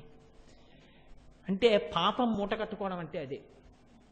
ఆయన సమాధి మీద కూడా హే రామ్ అని రాసేసిన తర్వాత ఇప్పుడు నువ్వు ఎందుకు అది చెప్పి నువ్వు లోకాన్ని ఏం ఉద్ధరిద్దాం అనుకుంటున్నావు? నీ మాటలు నమ్మేవాడు ఎవడైనా ఉన్నాడా? ఎందుకు ఆ మాటలు? ఆ మాటలు వాడు ఎవడో కారు కూత కూశాడు. నువ్వెందుకు దాన్ని పేపర్లలో రాయడం? పిల్లల్ని పాడు చేయడానికి తప్ప చదువుకునే వాళ్ళని. చూడండి గాంధీ గారు తన స్వీయ చరిత్రలో ఒక విషయం నాకు స్ఫురణలోకి వస్తోంది. ఆయన ఒకనకొకనాడు తన స్నేహితుడితో కలిసి ఒక వేశ్యలు ఉండేటటువంటి వాడకి వెళ్ళారు. అక్కడ చాలా అందచందములు కలిగినటువంటి ఒక వేశ్యతో సంభాషణలో పడ్డారు. ఆ సంభాషణ ముదిరింది. ముదిరి ఆయన తన యొక్క స్వస్థితి నుంచి జారిపోయే స్థితికి వచ్చేసింది. పక్కన ఉన్న స్నేహితుడు చూశాడు. అతను అక్కడ తప్పు చేయడానికే వచ్చాడు అతను. కానీ ఆయనకి గాంధీ గారు తప్పు చేయడం ఇష్టం లేదు. ఎందుకంటే గాంధీ గారు అమ్మకి ప్రమాణం చేసి ఆఫ్రికా వచ్చారన్న విషయం ఆయనకి తెలుసు. అతను నిలదీశాడు నీ మాటలు చూస్తుంటే ఏ క్షణంలోనైనా నువ్వు జారిపోవడానికి సిద్ధంగా ఉన్నావు. జారిపోయిన ఉత్తర క్షణంలో గాంధీ ఒకటి గుర్తుపెట్టుకో. ఇక నీ జీవితంలో నువ్వు ఈ శరీరం ఉండగా అమ్మకిచ్చిన మాట నిలబెట్టానన్న మాట మాత్రం నువ్వు హానలేవు అలా జీవితాంతం అనిపించుకోవాలంటే ఒక్క క్షణం ఇక్కడ ఉండకు లేచెళ్ళిపోన్నాడు గాంధీ గారిని వీప్ మీద ఎవరో కొరడాతో కొట్టినట్టు అనిపించి లేచి బస్సు ఎక్కిపోయారు అలా నేను వెళ్ళిపోయాను కాబట్టి తప్పు చెయ్యలేదని రాసుకున్నాను. ఇది గాంధీ గారు రాసుకోక్కర్లేదు ఎవరికీ తెలియదు ఆయన మహాత్ముడు కాబట్టి రాసుకున్నారు పెద్దలు తమ జీవితంలో వచ్చినటువంటి వైక్లభ్యములను తొట్టుపాటులను ఏమి అరమరిక లేకుండా స్వాగతించి చెప్పుకుంటారు. అవి నిజమైన జీవిత చరిత్రలు. అవి ఇంట్లో ఉండాలి తాను చదవాలి పిల్లలతో చదివించాలి ఒక భోజనం చేస్తున్నప్పుడో పలహారం చేస్తున్నప్పుడో వాటి గురించి చర్చించాలి. చూడరా జీవితాలు అని. అలా ఎక్కడ మాట్లాడబడుతుందో అక్కడ పిల్లల యందు సంస్కారానికి పునాదులు ఏర్పడతాయి. అయితే ఇవాళ దురదృష్టం ఏంటంటే మాట్లాడే తల్లి మాట్లాడే తండ్రి ఉన్న వినే ఓపిక ఉన్న పిల్లలు కూడా తగ్గిపోతున్నారు. ఎందుకంటే టీవీ కన్నా ప్రపంచం అక్కర్లేదు. తండ్రి చెప్పిన దానికన్నా తల్లి చెప్పిన దానికన్నా టీవీ చెప్తేనే సత్యం. తప్ప ఆయన చెప్పినది సత్యం కాకపోవచ్చు అని వాళ్ళకు ఒక అనుమానం. ఇవాల్టి సంస్కారం అలా అయిపోతోంది. నేనైతే అనుకుంటాను ఇదంతా కలిపురుషుని యొక్క ప్రభావము అనుకుంటూ ఉంటాను. కాబట్టి చూడండి మహాత్ముడైనటువంటి వ్యాసుడు భంగపడ్డాడు. వ్యాసుడి కన్నా గొప్పవాడు ఉన్నాడండి లోకంలో? వ్యాసుడంటే అష్టాదశ పురాణ కర్త. ఇప్పుడు మీరు ఏ లలితా సహస్రనామ స్తోత్రం చెప్పుకుంటున్నారో చెప్పుకుంటున్నామో. ఆ లలితా సహస్రనామ స్తోత్రాన్ని బ్రహ్మాండ పురాణాంతర్గతంగా మనకి అందించినటువంటి మహాపురుషుడు. అటువంటి మహాపురుషుడు వేద విభాగం చేసినవాడు అష్టాదశ పురాణములు ఇచ్చినవాడు బ్రహ్మసూత్రములకు భాష్యములు ఇచ్చినవాడు ఒకనొకప్పుడు తప్పటడిగేశాడు. ఆ తప్పటడికి ఫలితం ఏమైందో తెలుసా అండి? ఆయన జీవితంలో ఆయన కాశీ పట్టణానికి వెళ్ళలేదు. ఎంత పెద్ద తప్పు చేశారంటే ఆయన ఆయన స్వయంగా తన జీవితంలో జరిగినటువంటి సందర్భాన్ని ఆయనే చెప్పుకుంటే కాశీఖండంలో శ్రీనాథుడు దాన్ని ప్రస్తుతి చేశాడు. దాంట్లో ఉండేటటువంటి నీతిని మీరు గ్రహించవలసి ఉంటుంది. ఆయన ఒకనకొకప్పుడు కాశీపట్టణంలో సంతోషంగా గడుపుతున్నారు. హాయిగా తపస్సు చేసుకుంటూ ఆయన ప్రారంధ కర్మ ఏమిటో ఏడు రోజులైంది ఎక్కడికి వెళ్ళి భవతి భిక్షాందిహి అన్న పట్టెడన్నం దొరకలేదు. ఏడు రోజులు ఆకలితో అలమటించిపోయారు. జైమిని పైలుడు మొదలైన శిష్యులందరూ కూడా ఉన్నారు. ఏడవ రోజు కూడా ఇవాళ అన్నం దొరకకపోతే మాత్రం నేను అంగీకరించనని బయలుదేరాడు. ఇంతటి మహాజ్ఞాని. మధ్యాహ్నం అయింది. ఒక వీధిలోకి వెళ్ళి ఇళ్ళ ముందు నిలబడి భవతి భిక్షాందేహి భవతి భిక్షాందేహి అంటూ తిరుగుతున్నాడు. ఎవ్వరూ అన్నం పెట్టలేదు.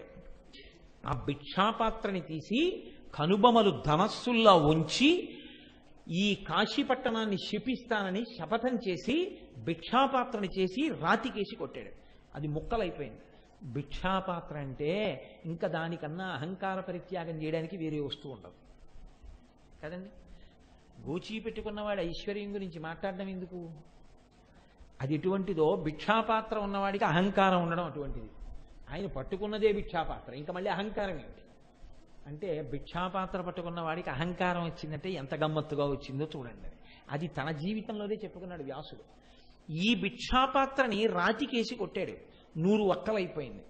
వక్కలైపోయిన తర్వాత అప్పుడు చేతిలోకి నీళ్ళు పోసుకుని కాశీ పట్టణాన్నంతటినీ శపిస్తున్నాడు. ఏమని? ధనము లేకుండెదరు మూడు తరములందు.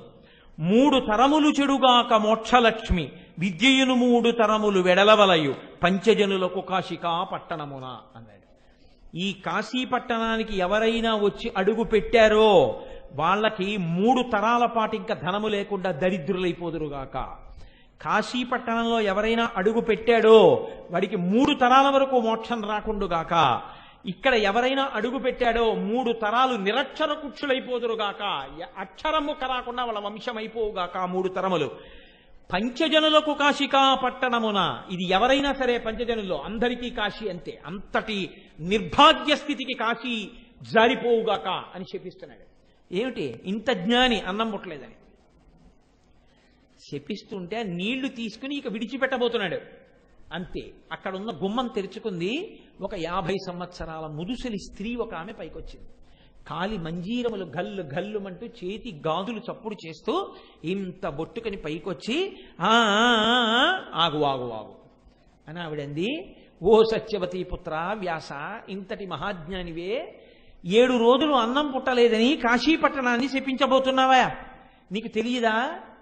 ఇక్కడ మధ్యాహ్నం అయ్యేటప్పటికి సమస్త భూతకోటికి అన్నం పెడుతుంది అన్నపూర్ణమ్మ.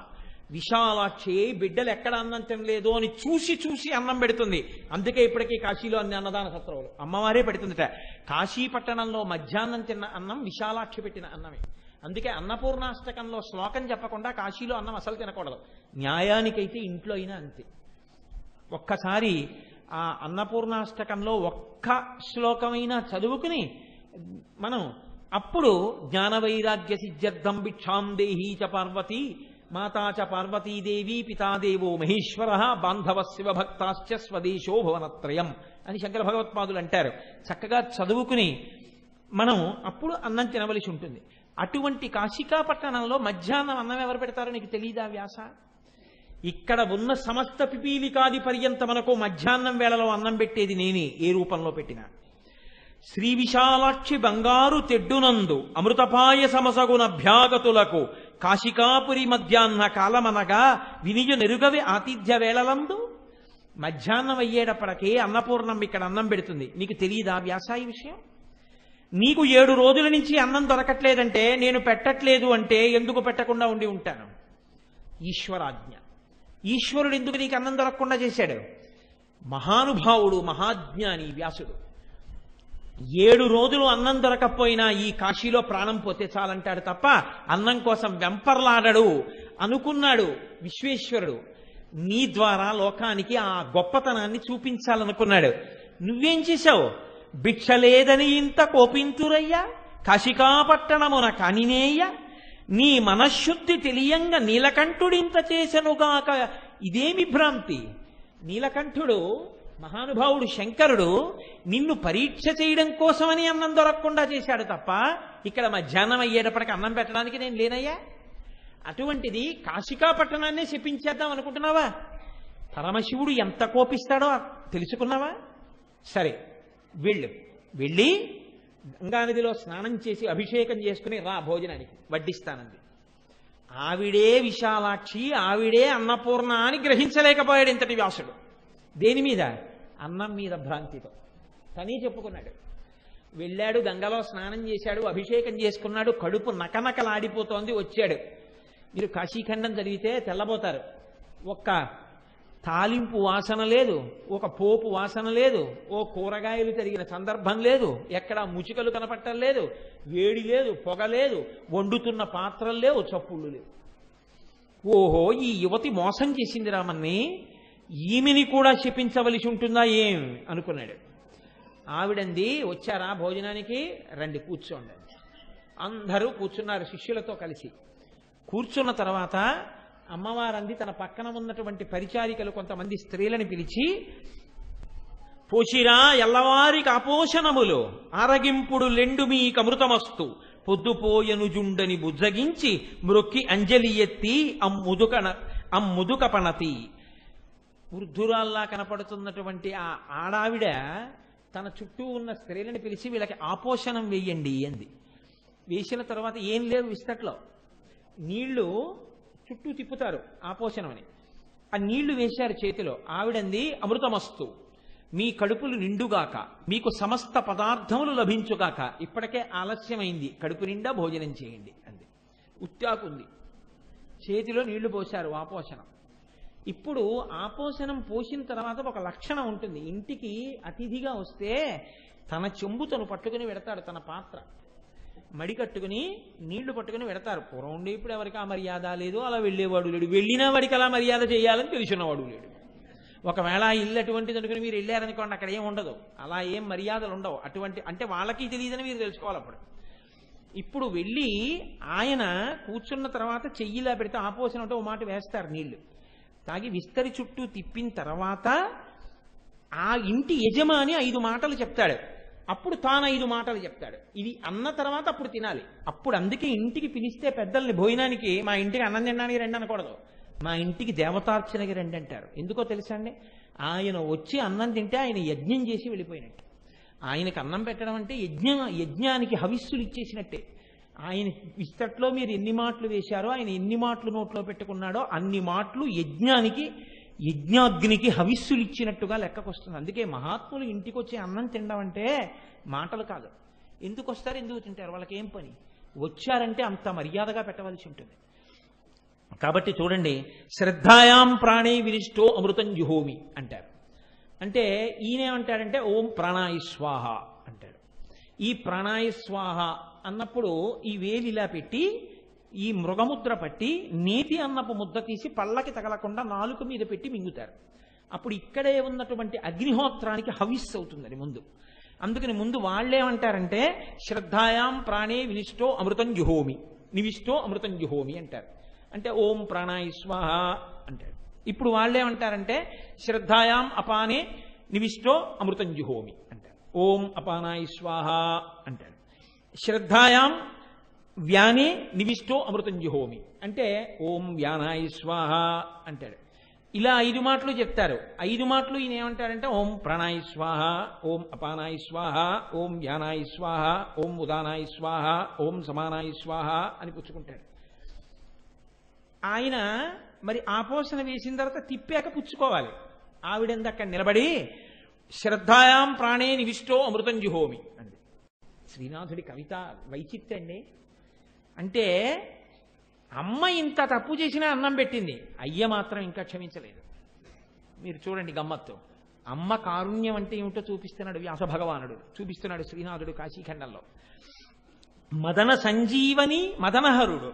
ఈయన మన్మధుణ్ణి కాల్చి చంపేశాడు. కాల్చి చంపేసిన మన్మధుణ్ణి బతికించింది ఆవిడ. ఎంత గొప్పగా చెప్తున్నాడో చూడండి. అమ్మంటే ఎలా ఉంటుందో అయ్యంటే ఎలా ఉంటాడో చూపిస్తున్నాడు. ఇది పద్యరచన అంటే ఇది హృదయం అంటే నాగేంద్రని భయాన నగకుండలధారి. ఈవిడ నడిచేస్తుంటే ఏనుగు నడిచేస్తున్నంత మందంగా అంత అందంగా ఉంది. ఆయన చెవులకి కూడా పిల్లపావులు నెట్టుకున్నాడు. అంటే భుస్ భుస్ లేని ఉన్నాడు. భువనమోహన గాత్ర భువనకర్త. ఆవిడ భువనములన్నీ ఇలా చూడగానే ఆ నా తల్లి అనిపించి పొంగిపోయే రూపంతో ఉంది. ఆయన లోకములను నడిపించే దక్షత ఉన్నవాడు. అంటే ఎక్కడ తప్పు జరిగిందో అక్కడ శిక్ష కూడా వేస్తాడు. భువనకర్త. గిరిరాజ కన్యక గిరిరాజ నిలయుండు. గిరిరాజ కన్యక ఈవిడ పర్వతరాజుకు పుత్రి. ఓ పర్వతానికి కూతురుగా పుట్టిన దయామయి కోరినందుకు. ఆయనో గిరిరాజ నిలయుండు. కైలాసంలో పడుకుంటాడు. పడుకుని లోకాలన్నింటినీ చూస్తూ ఉంటాడు. రక్షణ శిక్షణ రెండూ చూస్తాడు ఆయన. ఆవిడో రక్షణ చూస్తుంటుంది అమ్మ కాబట్టి. సర్వాంగ సుందరి సర్వగురుడు. ఆవిడ సర్వాంగ సుందరి. ఈయనో సర్వగురుడు గురువులకి గురువు. వ్యాసుడు లోకానికి గురువు. కూర్చుంటే వ్యాసుడికి నమస్కారం చేసి మొదలు పెడతాం. గురువులకి గురువు. అంటే గురువు మార్గం తప్పితే శిక్షించి గురువుని కూడా మార్గంలో పెట్టేవాడు ఆయన సర్వగురుడు. అంటే చెప్పకుండా ఏం చెప్పేస్తున్నాడు దీంట్లో? ఇంత తప్పు నేను చేసినా కాశీ పట్టణాన్ని శపిస్తానని నేనన్నా అన్నం పెట్టింది ఆవిడే. అలాగే చూస్తోంది ఆవిడ. ఈయన మాత్రం కొంచెం బుస్సు అంటున్నాడు కాశీ పట్టణాన్ని శపిస్తానన్నావని. ఇప్పుడు వచ్చి అన్నాడు ఏరా నువ్వేనా కాశీ పట్టణాన్ని శపిస్తానన్నావుట? కాశీ ఎవరో తెలుసా? నా భార్య. పరమశివుడికి పార్వతీదేవి మాత్రమే భార్య అనుకుంటారు. ఆయన అన్నాడు నాకు పార్వతీదేవి ఒక్కతే భార్య కాదు నాకు పార్వతి కాశీ పట్టణంలో ప్రవహించేటటువంటి గంగానది కాశీ పట్టణం దక్షారామ క్షేత్రం ఈ నలుగురు నా భార్యలే అన్నాడు అంటే భార్య ఎంత ప్రీతిపాత్రమో పరమశివుడికి నాలుగు క్షేత్రాలు అంత ప్రీతిపాత్రం. ఎవడు రానా భార్య జోలికి వచ్చినవాడు? నా భార్యనే శపిస్తానన్నావుట నువ్వు? కాశీ పట్టణాన్ని అనలేదు. అంటే కాశీ ఎంత గొప్పదో మీరు ఆలోచించండి. ఎవడు రానా భార్యని శపిస్తానన్నవాడివి నువ్వేనా? ఉత్తరక్షణం నీ శిష్యులతో కలిసి కాశీ విడిచిపెట్టి వెళ్ళిపో. వెళ్ళకపోయావో పడిపోవాలంటే అడుగులు లేచిపోయి ఇక్కడి నుంచి. నువ్వు వదలకపోతే నీ మెడ పట్టి నీ ముఖాన్ని బండకేసి ముక్కలు చేసేస్తానన్నాడు. అంతే. అప్పుడే అన్నం తిని కూర్చున్న వ్యాసుడు లేచి వెనక్కి తిరిగి వెళ్ళిపోతూ ఏడిచాడు కాశీవంక చూసి. ఆ పద్యాలు చదువుతుంటే గుండెలు కదిలిపోతాయి నిజంగా. మహానుభావుడు అగస్త్య మహర్షి కనపడి అడుగుతారు ఏమయ్యా ఏం తప్పు చేశావు? లోలార్కుడికి కోపం వచ్చిందా? డుంటి గణపతికి కోపం వచ్చిందా? వీరభద్రుడికి కోపం వచ్చిందా? విశాలాక్షిన మర్యాద చేశావా? ఎందుకు కాశీ వదిలేవని అడిగారు. కాబట్టి ఇప్పుడు ఏడుస్తూ వెళ్ళిపోతున్నాడు వెనక్కి తిరిగి. శివుడు అలాగే చూస్తున్నాడు. జీవితంలో శివానుగ్రహం పోయింది. శాపాలలో పరమ భయంకరమైన శాపం ఏమిటో తెలుసా అండి? శాపాలలో కల్లా గొప్ప శాపం ఇది అంటే నీకు శివభక్తి లేకుండుగాక ఇది మొదటి శాపం. రెండో పెద్ద శాపం ఏమిటో తెలుసా అండి? నీ ఇంట జిల్లేడు మొక్క పుట్టుగాక. ఈ రెండింటికి నేను వ్యాఖ్యానం చేయను. అవి పరమ భయంకర శాపాలని మీరు తెలుసుకుంటే చాలు. అందుకే ఇంట జిల్లేడు మొక్క పుట్టకూడదు. ఇంటి లోపల బయట మనిషి జీవితంలో శివభక్తిని పోగొట్టుకుని ఉండకూడదు. అందుకే చేతులారంగ శివుని పూజింపడేని. నూరు నవ్వంగ హరికీర్తి నుడువడేని దయయు సత్యంబు లోనుగా తలపడేని కలుగనీటికి తల్లుల కడుపు చేటు. అంటాడు మహానుభావుడు అంటారు మహానుభావుడు పోతన గారు కాబట్టి చూడండి ఇప్పుడు ఏడుస్తూ వెనక్కి తిరిగి వెళ్ళిపోతున్నాడు. జీవితంలో పోయింది శివానుగ్రహం. ఇప్పుడు ఎలా తన బతుకు? ఎంత వ్యాసుడైతే ఎంత పురాణకర్త అయితే ఎంత వేద విభాగం చేసిన వాడైతే ఏది శివానుగ్రహం? ఏడుస్తూ వెనక్కి తిరిగి వెళ్ళిపోతున్నాడు. పరమశివుడు పక్కనే ఉన్నా అమ్మవారు పెద్ద అరుపరిచిందిట. వ్యాసుణ్ణి చూసంది ఏమయ్యా బెంగ పెట్టుకుని వెళ్ళిపోతున్నావా? నువ్వు అలా బెంగ పెట్టుకుని వెళ్ళక్కర్లేదు. విరవకుమో కుమార పదివేల విధంబులనైన నిన్ను నే మరువ. ఎలా అంటోందో చూడండి. విరవకుమో కుమార ఓ కొడుకా ఏం బెంగ పెట్టుకోకు. అంటే ఇప్పుడు ఆవిడెవరు? అమ్మ. అమ్మకి బాధ ఎప్పుడో తెలుసా అండి? పిల్లాడు ఏడుస్తుంటేనే. అయ్యో వాడు ఏడుస్తున్నాడండి అంటుంది. ఎంత తప్పు చేశాడని శివుడు ఇలా నిలబడ్డా? ఆవిడ మాత్రం పక్కన శివుడు ఉన్నాడని కూడా భయపడలేదు. వెర్రవకుమో కుమార పిల్లడా ఏడవకు ఏం బెంగపెట్టుకోకు పదివేల విధంబులనైన నిన్ను నే మరువ. పదివేల రకాలవని. అంటే ఏమిటి? శివుడికి కాశనాడరు. నువ్వు ఎన్ని తప్పులు చేసినా నీ ప్రేమ ఏమిటో నాకు తెలుసు. నిన్ను నేను మర్చిపోను రే. ఏమండి చూడండి వాడు ఎంత ఏడుస్తున్నాడో మీరు వెళ్ళిపోమన్నారని వాడికి ప్రేమ లేకపోతే ఎందుకు ఏడుస్తాడు? ఏదో కోపం వచ్చింది అన్నం దొరకలేదని చెప్పించపోయాడు దానికి కాశీ వదిలి వెళ్ళిపోమన్నారు మీరు. ఎంత ఏడుస్తూ వెళ్ళిపోతున్నాడో చూడండి. అని పదివేల విధంబులనైన నిన్నునే మరువ మారేడ కుంజనుట మాని శివుడు వెళ్ళిపోమన్నాడు కదా అని ఎక్కడికన్నా వెడతాననుకుంటావేమో ఇంకెక్కడికి వెళ్ళకో అందావిడ శివుడు లేని చోటు ఎక్కడుంది వెళ్ళడానికి? కాబట్టి బాగా జ్ఞప్తికి తెచ్చుకో. ఎక్కడికో వెళ్ళిపోతాను ఎక్కడికో వెళ్ళిపోతాను నేను ఎక్కడ బతుకుతాను శివుడిలోని చోటుకు వెళ్ళిపోతాను శివుడు లేని చోటు వెతుక్కుంటాను ఈ మాటలు నోట్లోంచి రానివ్వకు. అంటే శివభక్తిని వదలకు ఇది అగ్ని పరీక్షగా పెట్టుకో శివుడి పాదాలే పట్టుకో గట్టిగాను. సుఖంబున దక్షమాటి కిందొరగలి కొన్న సమ్మదముతో గమనింపము. ఇక్కడి నుంచి దక్షారామం వెళ్ళిపో. నీకేం పర్వాలేదు ఇక్కడ ఇలా నించున్నాడే త్రిశూలం పట్టుకుని. ఈయన బహుప్రసన్నమూర్తి దక్షారామంలో ఈయన రహస్యాలు ఆవిడ చెప్పేసింది పక్కన నించుని. నీకేం భయం లేదు. దక్షారామం వెళ్ళి పూజ చేయి. ఈశివుడే ప్రసన్నుడై మళ్ళీ నీకు దర్శనమిచ్చి నిన్ను గుండెల మీద పెట్టుకుంటాడు. నీకేం భయం లేదు. కాబట్టి గమనింపుము భీమనాయకుండరగొరలేని వేల్పు నిఖిల దయా నిఖిలాభ్యుదయంబులు నీకు నయ్యడం. ఆ దక్షారామ భీమేశ్వరుడు ఉన్నాడే ఆయన అరగొరలేని వేల్పు. ఆయనకు అసలు కోపం అన్నది లేదు. ఎంత ప్రసన్నమూర్తో ఎంత సంతోషంగా ఉంటాడో. ఈయనే అక్కడ అలా ఉంటాడు. ఇక్కడ కాశీపట్టణంలో జ్ఞాన వైరాగ్యములతో ఉండవలసిన వాడివి. భోగం కోసం ఏడుస్తున్నావా? అని కోపడ్డాడు అక్కడ భోగం ఇచ్చేవాడిగా ఉంటాడు ఈయనే. కాబట్టి అక్కడికెళ్ళి నమస్కారం చేయి. మళ్ళీ గభాల తొడ మీద కూర్చోబెట్టుకుంటాడు. అని నిన్నునే మరువా. నిన్ను నేను మరిచిపోను. నీకు శివానుగ్రహం కలిగేటట్టు నేను చూస్తాను. దగ్గ పెట్టుకోక పిల్లాడా. వెళ్ళిపో దక్షారామం అంది. వచ్చేసాడు దక్షారామం వ్యాసుడు. వచ్చి దక్షారామ భీమనాథుడి దగ్గర కూర్చుని అందుకే ఇప్పటికీ పక్కన స్తంభం మీద వ్యాస భగవానుడు ఉంటాడు. స్తోత్రం చేశాడు. అందులోంచి ప్రత్యక్షమయ్యాడు పరమేశ్వరుడు. పొంగిపోయి తల మీద రెండు చేతులు పెట్టుకుని నర్తన చేసేశాడు. చేసి పరవశించిపోయి పద్యాలు చెప్పాడు. స్తోత్రం చేశాడు పూజ చేశాడు భీమనాథుణ్ణి. ఇంతకీ నేను మీకు ఈ విషయం ఎందుకు విజ్ఞాపన చేశాను? జ్ఞాపకం పెట్టుకోండి. అమ్మ ఏం చేసింది? రక్షణయే. ఎవరికి? శివుడిచ్చి ఎవరి మీద కోపగించాడో వాడికి కూడా రక్షణ ఎవరిచ్చారంత ధైర్యంగా?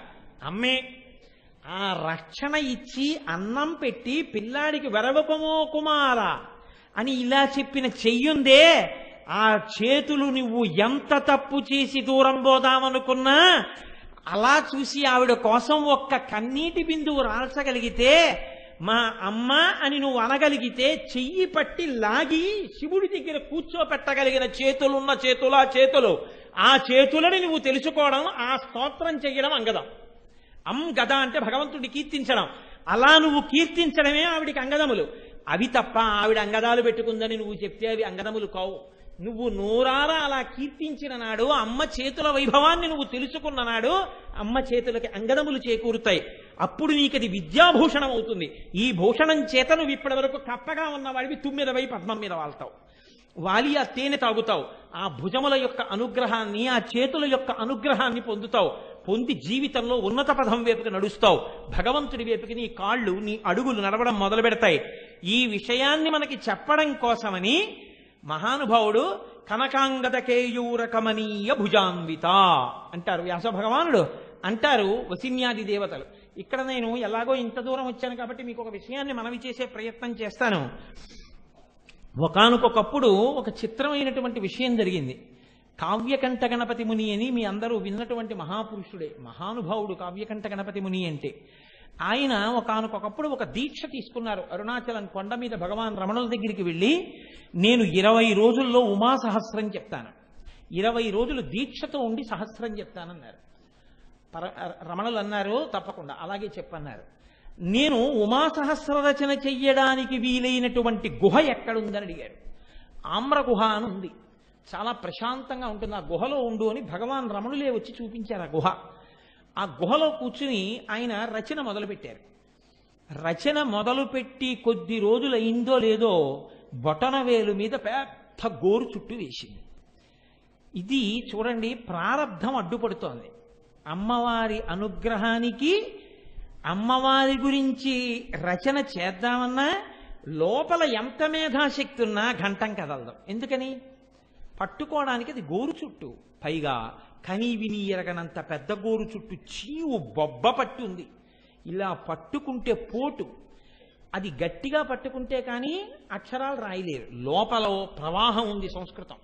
రాద్దామంటే కదలదు ఘంటం. రాయలేక వదిలిపెట్టేశారు. దీక్షలోనే ఉన్నారు. ఇరవై రోజులు కదా తగ్గుతుందేమోనని. అప్పటికి పంతొమ్మిది రోజులు అయిపోయింది. ఇంకా దగ్గర దగ్గరగా అప్పటికి రెండు వందల యాభై శ్లోకాలు రాయాలి. అంటే వెయ్యి పాదములు పూర్తవ్వాలి. అవలేదు. ఆయన శిష్యులందరూ వచ్చి అన్నారు మీ దీక్ష పాడైపోయినట్టే.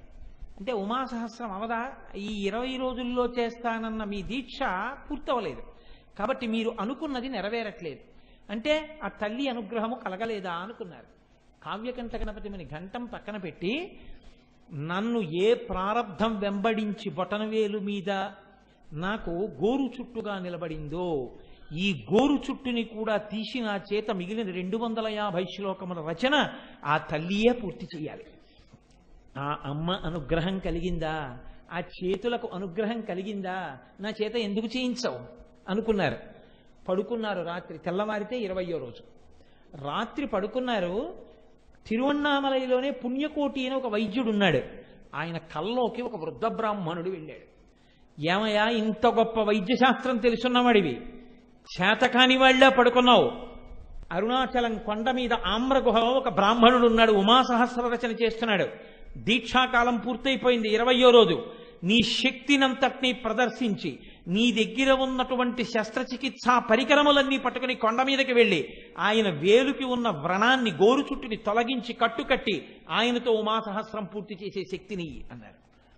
ఆయన తెల్లబోయి ఈ శస్త్రచికిత్స చేసేటటువంటి పరికరాలన్నీ పట్టుకుని అరుణాచలం కొండ మీదకి వెళ్ళి విరూపాక్ష గుహలో ఉన్న రమణుల దగ్గరికి వెళ్ళారు. ఆయనకి కావ్యకంఠ గణపతి మనకి తెలియదు. వెళ్ళి రమణుల యొక్క చేతులు కాళ్ళ వంక చూస్తున్నారు. ఆయన అన్నారు ఎందుకు అలా చూస్తున్నావు? అన్నారు.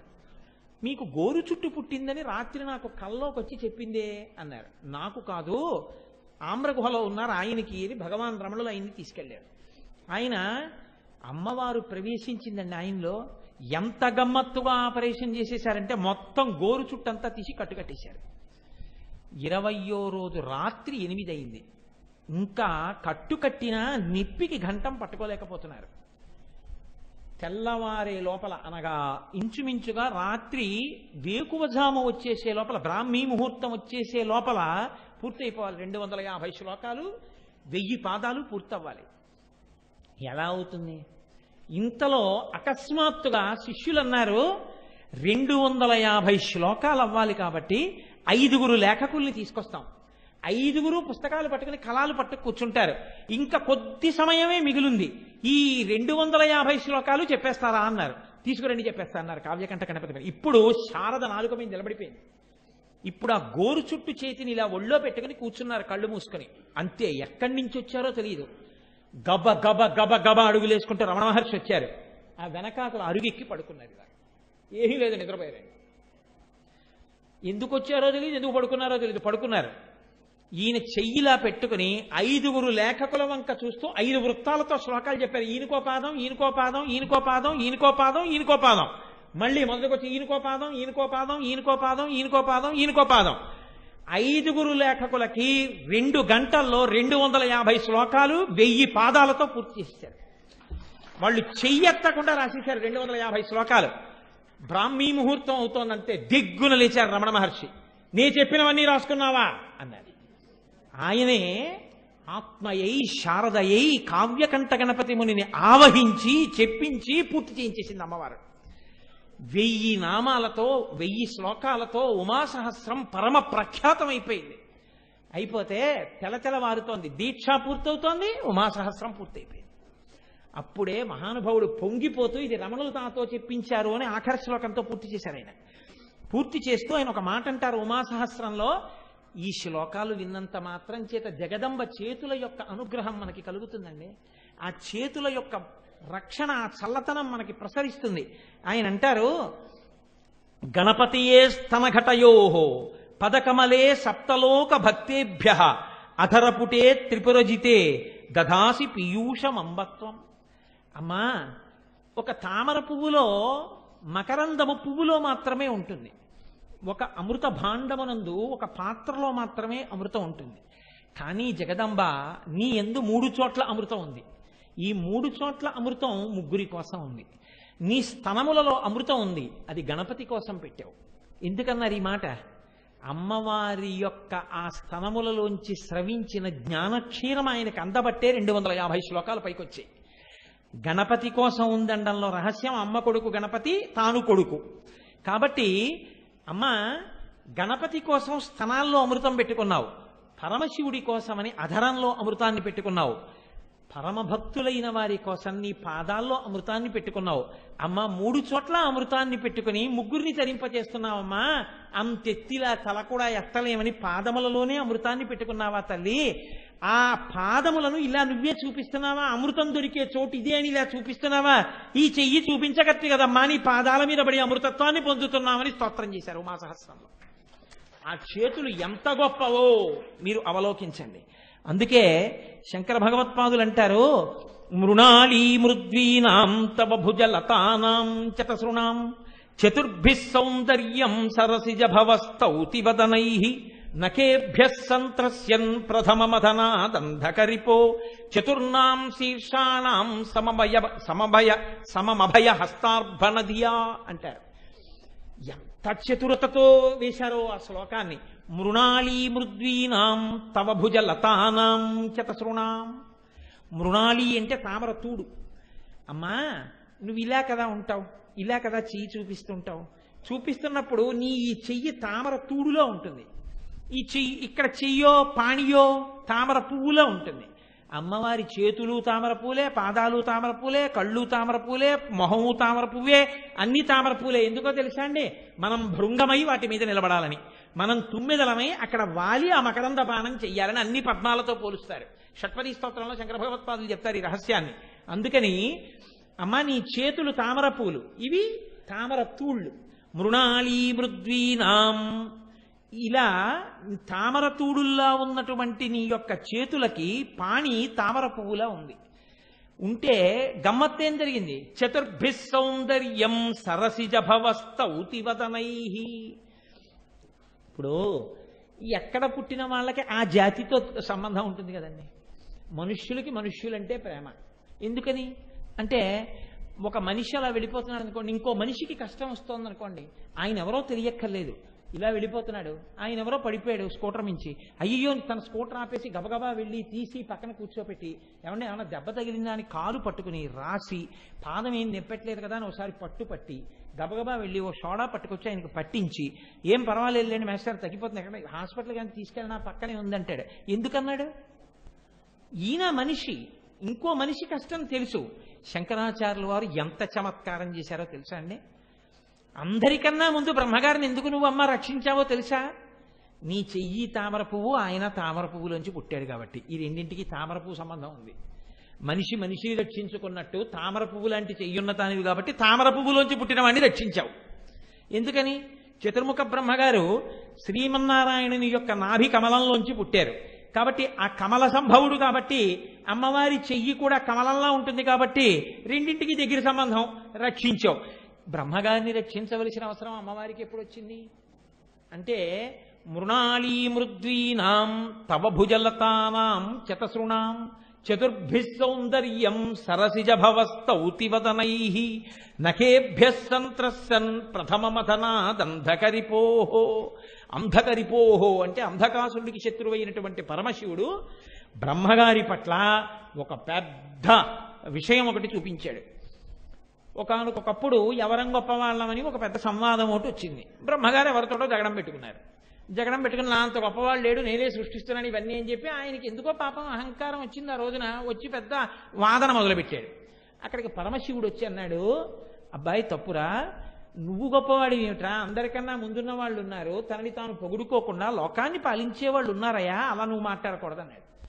అంటే వెంటనే ఆయన ఏం చూశాడంటే మీరు నాకేం చెప్పకలేదు మాస్టారు అంటాడు ఒక్కొక్కడు చూడండి అలా వెంటనే బ్రహ్మగారు అహంకారం కప్పేస్తే ఎలా ఉంటుందో చూడండి.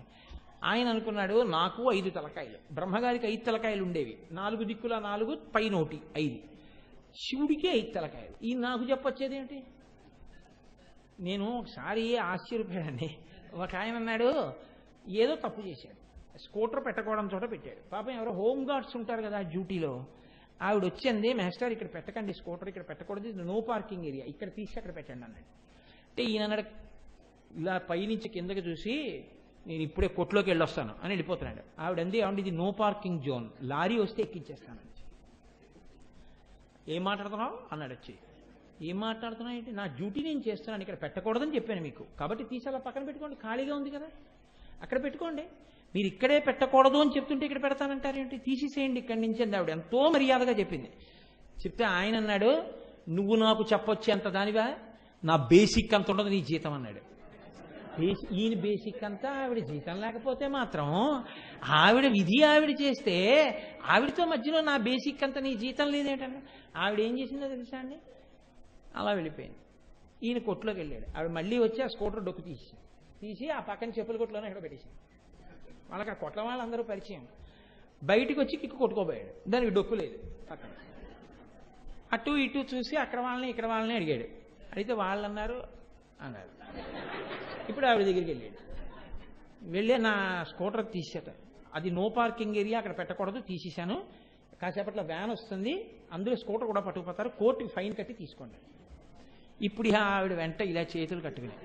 అంటే మేడం అప్పుడు ఏదో షాప్లోకి వెళ్తున్నాను ఏదో కోపంలో ఏదో అన్నాను మీరు అలా మనసులో పెట్టుకోకండి మేడం అది ఎక్కడుందో చెప్పండి ఇచ్చేయండి మేడం ప్లీజ్ మేడం. ఏమిటి ఇప్పటిదాకా బేసిక్ అన్నవాడు మేడం మేడం. ఎందుకు ఆ ప్రారంభం?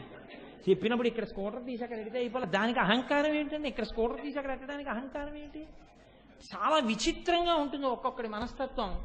అహంకార గ్రస్తం అయిపోయి ఉంటాయి.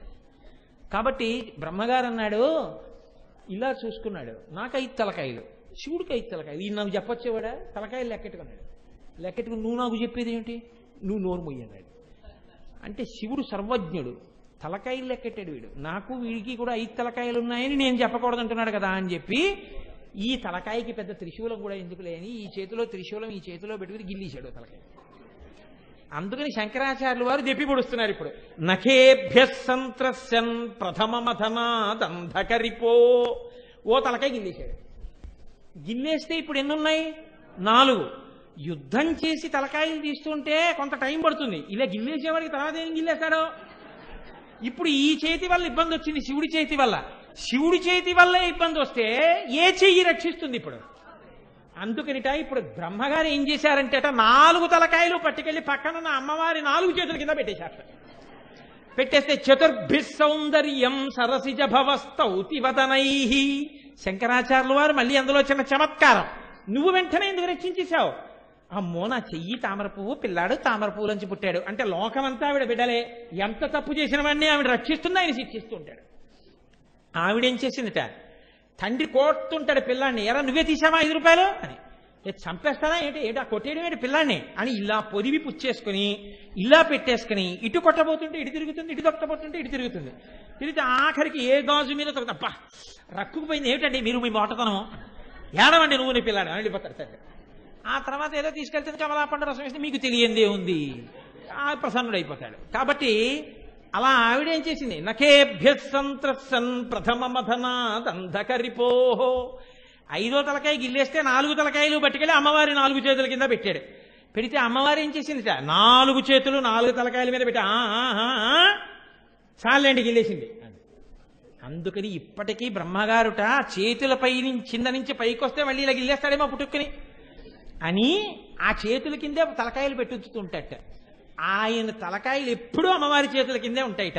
అమ్మా నీ చేతుల కింద చేరిపోయిన వాడి నాలుగు తలకాయలు ఇప్పటికే అలాగే ఉన్నాయి. పక్కనే శివుడు ఉన్నా నీ చేతుల్ని నమ్ముకున్న వాడికి ఇంకా బాధ ఎక్కడుందమ్మా రక్షణే ఉంటుంది. అది కదమ్మా నీ చేతుల గొప్పతనం అంటే అన్నారు శంకరాచార్యులు వారు. మహానుభావుడు సమగ్రంగా సారాంశాన్ని అంతటినీ తీసుకొచ్చి ఒక్క శ్లోకంలో ఆవిష్కరించేస్తారండి. అది శాంకర ప్రజ్ఞ. ఆయన అంటారు ఒక చోట ఎంత గమ్మత్తుగా మాట్లాడతారు ఆయన అంటారు నఖానామద్యోతైర్నవనలిన రాగాం విహసతాం కరాణాంతే కాంతిం కథయ కథయామ కథము మే కయాచిద్వాసాంయం భజతు కలయా హంతకమలం ఇది క్రీడల్లక్ష్మీ చరణతలలాక్షారసచనం అన్నారు. అమ్మా నీ చేతులు ఇలా పెట్టి కూర్చుంటే ఇలా చూసినప్పుడు ఈ వేళ్ళ యొక్క చివరి భాగాలకు ఉన్నటువంటి గోళ్ళు ఉన్నాయే ఈ గోళ్ళు ఎర్రటి కాంతులతో ఉన్నాయి. ఈ ఎర్రటి కాంతులు ఎలా ఉన్నాయంటే అమ్మా తామర రేకుల చివర్ల భాగంలో ఉండేటటువంటి ఎర్రటి కాంతి ఎలా ఉంటుందో అలా ఉన్నాయి. అని టక్కన ఆగిపోయి వెంటనే అన్నారు అమ్మా కాంతిం కథయ కథ యామ కథముమి ఏమి పడిపోతాయో శంకర భగవత్పాదులకు ఆ శ్లోకాలు నిజంగా? అమ్మా అనేశాను కానీ ఇలా ఎలా కుదురుతుందమ్మా? తామర పువ్వు యొక్క రేకు చివర ఉన్న ఎరుపుతనానికి నీ వేళ్ళ చివర ఉన్నటువంటి గోళ్ళ కాంతికి సమానమా? ఇలా ఎలా అన్నానమ్మా? అలా ఎలా సరిపోతుంది? ఆ కాంతి సరిపోదే. నాయన ఇది కొంచెం తిప్పుదురు బాబు. ఒంట్లోంచి చెమటంతా వచ్చేస్తోంది నాకు. లోపల కదా వేడికి. అందుకని ఆయన అంటున్నారు ఈ గోళ్ళలోంచి వచ్చేటటువంటి ఎర్రటి కాంతులు తామర రేకుల యొక్క చివర్లో ఉండేటటువంటి కాంతులకు సరిపోతాయన్న మాట నేను ఎలా చెప్తాను? అంటే "ఆ, అమ్మా నాకు అర్థమైంది. నేను నేను చెప్తే కదా అది అబద్ధమో నిజం నీ చెప్తే కదా నాలోంచి పలికానంటే నేనా పలుకుతున్నది నువ్వే పలికిస్తున్నావు. నువ్వే పలికిస్తున్నావు అంటే నువ్వు చెప్పింది నిజం చేసుకోవడం నీ వంతి.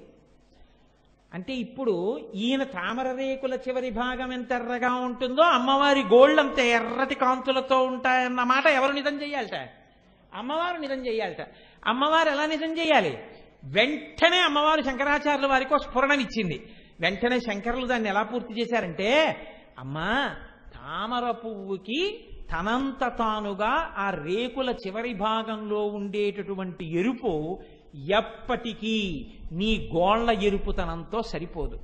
కానీ ఒక్క కారణానికి మాత్రం సరిపోతుంది. ఎలా సరిపోతుందో తెలుసా? లక్ష్మీదేవి ఎక్కడుంటుంది? పద్మంలో ఉంటుంది. పద్మంలో కూర్చుంటుంది. పద్మంలో కూర్చున్న లక్ష్మీదేవి ఏం చేస్తుంది? ఆడవాళ్ళందరూ ఏం చేస్తారో అదే చేస్తుంది. ఏం చేస్తుంది?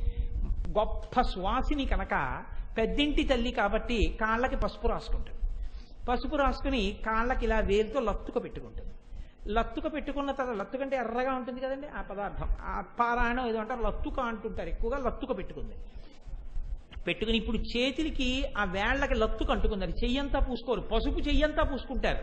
లత్తుక వేళ్ళకే అంటుకుంటుంది. ఆ వేలుతోటే పాదానికి ఇలా తిప్పుకుంటారు. ఇలా రెండు వేళ్ళతో ఇలా ఇలా ఇలా ఇలా ఇలా పూసుకుని పూసుకుని చక్కగా ఇలా పైన ఇలా పెట్టుకుని ఒక వేలుతో ఇలా ఓ బొట్టులా పెట్టుకుంటారు కదా. అందుకని ఈ మూడు వేళ్ళకో ఈ వేళ్ళకో లత్తుక అంటుకుంటుంది.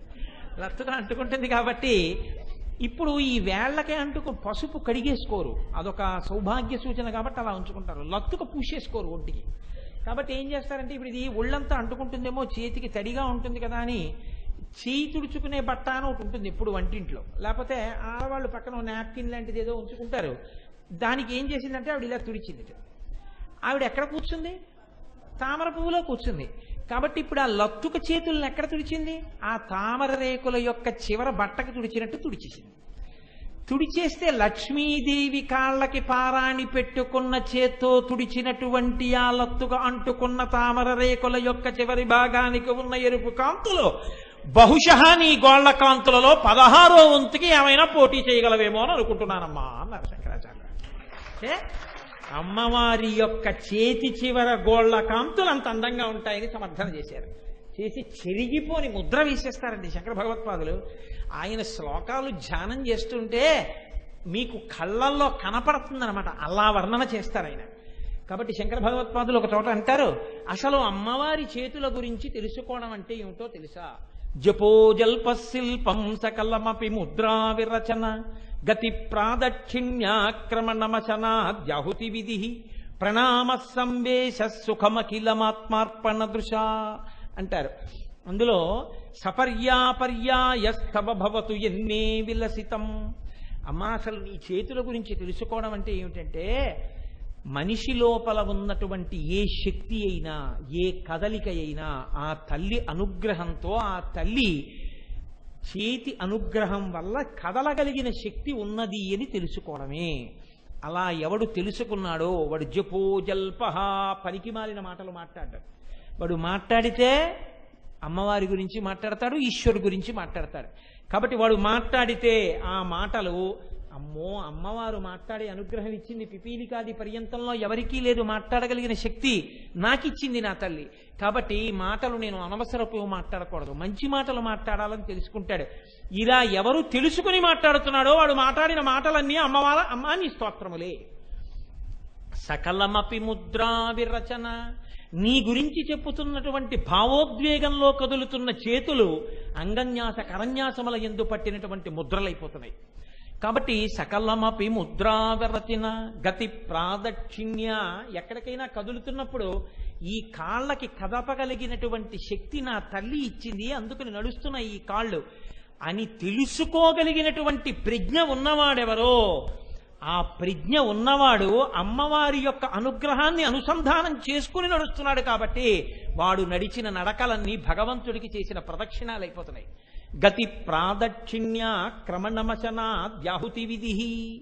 ఏది తిన్నా నేను తింటున్నానని కాకుండా లోపల ఉన్న వైశ్వానరాగ్ని తింటోంది అని చెప్పి హవిష్యుల రూపంలో ఎవడు తింటున్నాడో వాడు తిన్నదంతా అమ్మా నీ పట్ల చేసినటువంటి యజ్ఞం అయిపోతోంది క్రమణమశనాద్యాహుతి విధి ప్రణామ సంవేశ వాడు రాత్రి పడుకోబోయే ముందు పదకొండు మాటలు భగవన్నామని చెప్పి పడుకొని నిద్రపోతున్నాడు.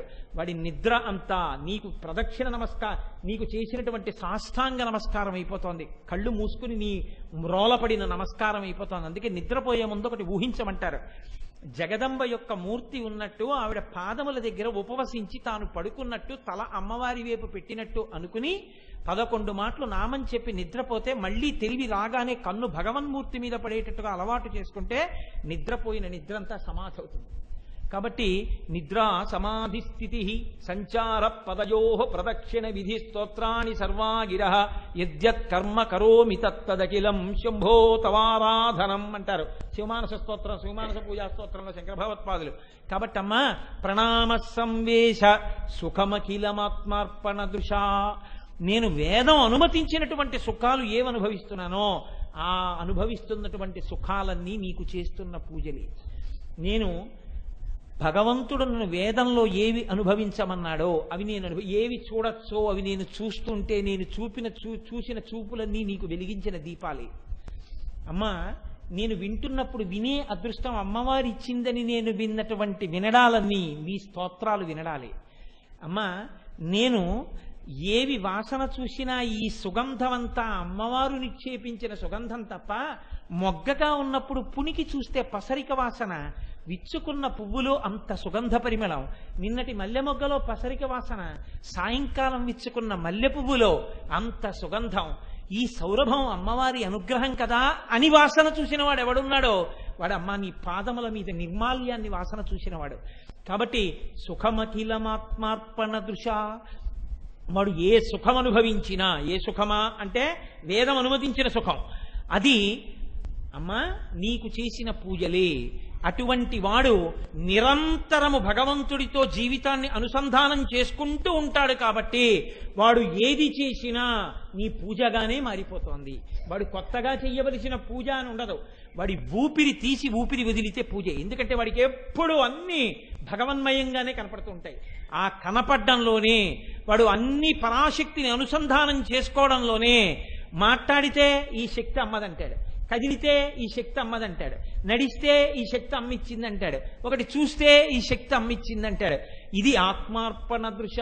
అన్నీ నీ పట్ల న్యాసం చేశాడు. ఇలా చేసి కదులుతున్న వాడెవడున్నాయో వాడి కదలికలన్నీ నీ చేతుల అనుగ్రహంతో కదలిన కదలికలు. ఈ కదలికల చేత వాడేమవుతున్నాడు?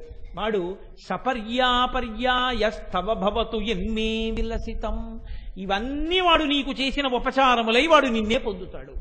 కాబట్టి తల్లి ఇటువంటి శక్తి ఇటువంటి సమన్వయం అబ్బాలి అంటే కదలిక క్రియాశక్తి చేతులకు సంబంధించినది కనుక అమ్మా నీ అనుగ్రహం వల్ల ఈ భావనతో కూడినటువంటి కదలికలు రావలసి ఉంటుంది అని అమ్మా నీ చేతిని ఎవరు చూసి అలా అనుసంధానం చేసుకుంటున్నారో వారు ఎటువంటి స్థితిని పొందుతారో తెలుసా? అంటే ఆ తల్లి గురించి చెప్తూ ఆ తల్లి యొక్క వైభవం గురించి చెప్తూ మూకశంకరులు ఒక అద్భుతమైనటువంటి శ్లోకాన్ని చెప్తారు.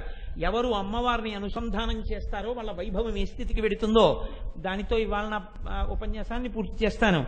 వాగీశ్వరీ సహచరీ నియమేన లక్ష్మీ భ్రూవల్లరి వశకరీ భువనాని గేహం రూపం త్రిలోకనయనామృతమంబ తేషాం కామాక్షియేషు తవ వీక్షణ ఎవరు అమ్మవారి చేతులను అను అన్వయం చేసుకుని ఆ క్రియాశక్తిని అమ్మ అనుగ్రహం అమ్మ అనుగ్రహం అంటూ బతుకుతూ కదులుతూ ఉంటాడో అటువంటి వాడి నాలుక మీద ఎప్పుడూ సరస్వతీదేవి కలిసి తిరుగుతూ పలుకుతూ ఉంటుందిట. అంటే ఆయన నోరు విప్పితే ఆయన నాలుక మీద సరస్వతి నర్తిస్తుంది. ఆయన గుండెలలో కూర్చుని ఆయన నోరు విప్పగానే సరస్వతియే ఆయన నాలుక మీద తాండవం చేస్తుంది. అటువంటి శక్తి పొందుతాడు. రెండు ఆయన కనుబొమలయందు ఆయన ఐశ్వర్యం ఏ పాటిది అన్నది గణనలోకి రాదు. కానీ ఆయన ఇలా అన్నాడా ఏ పనులైనా అయిపోతాయి. ఎందుకు అయిపోతాయి అంటే ఇది ఇలా చేద్దామండి అని ఇలా కనుబొమ్మలిత్తాయనంటే ఆయన సంకల్పమే శ్రీరామ రక్ష అయిపోతాయి. లక్ష్మీ కటాక్షం అంతా ఆయన కనుబొమ్మలను ఆశ్రయించి ఉంటుంది. ఆయన నవమన్మసుడై ఉంటాడు. మూడు లోకములలో లేని సౌందర్యం ఆయనదై ఉంటుంది. అంటే ఇది భౌతిక సౌందర్యం అనుకోకండి. కొన్ని వేల కనజంటలు ఆ అలా ఆయన్ని చూస్తూనే ఉండేటట్టుగా లోకాన్ని ఉద్ధరించి మాట్లాడగలిగినటువంటి ప్రజ్ఞ నిక్షేపింపబడుతుంది. పరమాచార్య నడిచి వెళ్ళిపోతుంటే ఎన్ని కోట్ల కన్నుల జంటలు ఆయన్ని చూశాయో. ఎంతమంది ఆయన మూర్తిని ఇళ్ళలో పెట్టుకున్నారో ఎనభై సంవత్సరముల వృద్ధుడై ఇలా నిలబడితే ఎవరి వరకు ఎందుకండి? నేనే ఎంతసేపు చూస్తుంటానో ఆ మూర్తిని పట్టుకుని ఇలాగా ఎంతసేపు చూస్తుంటానో ఉరప్పంజరం కనపడుతూ ఇలా లోపలికి వెళ్ళిపోతే ఈ గుండె పైకి కనపడుతూ ఈ కన్ను ఒకటి బలహీనత చేత ఇలా కొంచెం రెప్ప వాలిపోతే ఒక్క కన్నే పైకెత్తి తొడల వరకు కాషాయాంబరం పైకి పెట్టుకుని అప్పుడే స్నానం చేసొచ్చి ధర్మం తప్పకుండా బ్రాహ్మీ ముహూర్తంలో స్నానం చేయడం వల్ల ఉనికిపోతున్న ఒంటితో ఆ సత్యదండానికి పైనున్నటువంటి వస్త్రం విప్పేసి తాడు కనపడుతూ నీట ముంచి పైకొచ్చిన సత్యదండాన్ని ఇలా పట్టుకుని నిలబడితే ఆంతరంగికులైన శిష్యులు వచ్చి పాదముల మీద వేసినటువంటి పువ్వుల మధ్యలో ఆ ఇంతంత గోళ్ళతో ఆ బొటన వేళ్ళు ఆ వేళ్ళు చిక్కిపోయి పల్సగా తమలపాకుల్లా ఉన్నటువంటి ఆ పాదాలు ఇంత సన్నగా అయిపోయినటువంటి కాళ్ళు ముడతలు పడిపోయి ఇంతంత అయిపోయినటువంటి ఆ మోచిప్పలు ఆ ముఖం వంక చూస్తే అపారమైనటువంటి కాంతి ఆ బొట్టు ఆ పెట్టుకున్న విభూతి రేఖల చేత ఆచ్ఛాదింపబడినటువంటి ఆ పాలభాగం ఆ పైన కప్పుకున్న బట్ట స్నానం చేసి రావడం వల్ల ఇలా జారిపోయి ఉంటే ఆ చిన్ని జుత్తుతో ఎప్పుడూ ముండనం చేయించుకున్న ఆ తల ఆయన యొక్క మహానుభావుడు ఆ తేజస్సు చూడడానికి ఎన్ని కోట్ల జతల కళ్ళు వెంపర్లాడాయో ఇన్ని కోట్ల కళ్ళు జతల కళ్ళు చూసి పొంగిపోయి ఆ మూర్తిని ఇప్పటికీ ఇలా చూసి ఆనందపడిపోతున్నాయంటే అంత అన ఆనందము కలుగుతోందంటే అది భౌతికమైన అందమని మీరు అనుకోకండి. భౌతికమైన అందం నశించిపోతుంది. తొంభై ఏళ్ళు వచ్చినా ఎనభై ఏళ్ళు వచ్చినా ఆఖరికి శరీరం వదిలిపెడితే ఆయన యొక్క మూర్తిని కొవ్వుతో చేసి ఇలా కూర్చున్న మూర్తిని కంచి పీఠంలో బయట పెట్టుంచితే ఇప్పటికీ దాని దగ్గర అలా నిలబడిపోయా. చే- చేతుల్లో ఉన్న నరాలు కూడా పైకొచ్చేసి కనపడుతుంటే అందులో ఏమందం ఉందండి? అది శోభ. అమ్మా ఆ స్థితిని ఇచ్చేస్తాం. కాదు కాదమ్మా మూడు భువనములు ఆయన ఇల్లైపోతాయి. అంటే ఆయన అంతటా హద్దు లేకుండా ఈ భువనములన్నీ వ్యాప్తి చెందినవాడైపోతాడు. అంటే ఒక చోటికి పరిమితమైన వాడు ఒక ఒక శరీరమునందున్నవాడు కాకుండా సర్వవ్యాపి అయి ఆత్మయందు స్థితిగతుడై తాను ఆత్మని తెలుసుకున్నవాడై తాను స్థాణువై తాను కదలడానికి చోటు లేక అంతా నిండి నిబిడీకృతమైపోయి సాక్షిగా ఈ శరీరాన్ని విడిచిపెట్టగలిగినటువంటి మహాజ్ఞాని అవుతాడు. అమ్మా ఇన్ని శక్తులు ఎక్కడి నుంచి వస్తున్నాయో తెలుసా తల్లి? నీ యొక్క చేతుల కృపలోంచి వస్తున్నాయి ఆ చేతులనే మహావృక్షాల యొక్క కొమ్మల చల్లతనానికి ఎవడు చేరాడో వాడు ఇంత వైభోగాన్ని అనుభవిస్తున్నాడు. నన్ను నేను రక్షించుకుంటాననుకున్నవాడు అక్కడే తామర పువ్వు ఉంటే పక్కన పెరుగుతున్న కప్పలాంటి వాడమ్మా. ఎవడు ఇది తెలుసుకున్నాడో వాడు అడవిలోంచి వచ్చి మకరందం తాగిన తుమ్మెద లాంటి వాడమ్మా. అందుకని నీ యొక్క ఆ భుజముల అనుగ్రహము మేము చేసినటువంటి ఈ స్తోత్రం మేము చెప్పుకున్న ఈ మాటలు మేము విన్న ఈ మాటలు నీ భుజములకు పెట్టిన అంగదములు కేయూరములు. మా మాటలు మేము విన్నటువంటి సమయము నీ భుజముల పాలిట అంగదములై కేయూరములై మాకు చల్లతనాన్నిచ్చి మా మనస్సుకు ఉపశాంతినిచ్చి మమ్మల్ని సరి అయిన త్రోవలో నడిపించి నీ పాదముల ఎందు చెక్కు చెదరని భక్తి ప్రపత్తులను మాకు కృపజేయుగాక అని స్తోత్రం చెయ్యడం కనకాంగదకేయు రకమనీయ భుజాన్విత. ఆ నామం పైకి చిన్నదిలా కనపడుతుంది. కానీ దానికి ఎంత అన్వయం ఉంటుందో అది అర్థమైతే దాని గురించి వింటే ఎటువంటి స్థితిలోకి పెడతామో ఇవాళ మనం అమ్మవారి చేతులకి అంగదములు కెయ్యూరములు పెట్టిన వాళ్ళం. ఆ తల్లి అనుగ్రహము మన ఎందు పరిపూర్ణమగుగాక అని ఆ తల్లి పాదములు పట్టి ప్రార్థన చేస్తూ రేపటి రోజున ఆ తరువాతి నామాన్ని ప్రవచనం చేయగలిగిన శక్తి ఆ తల్లి శారదానుగ్రహంగా నా నాలుక మీద నర్తించి నాకు కృపజేయుగాక అని ఆ తల్లి పాదములకు సాంజలి బంధకంగా నమస్కరిస్తూ రేపు ఉదయం ఆరు గంటల ముప్పై నిమిషాలకి మనం చక్కగా ధ్యాన శ్లోకంతో లలితా సహస్రనామాన్ని చదివేటటువంటి విధానాన్ని అనుసంధానం చేసుకుందాం.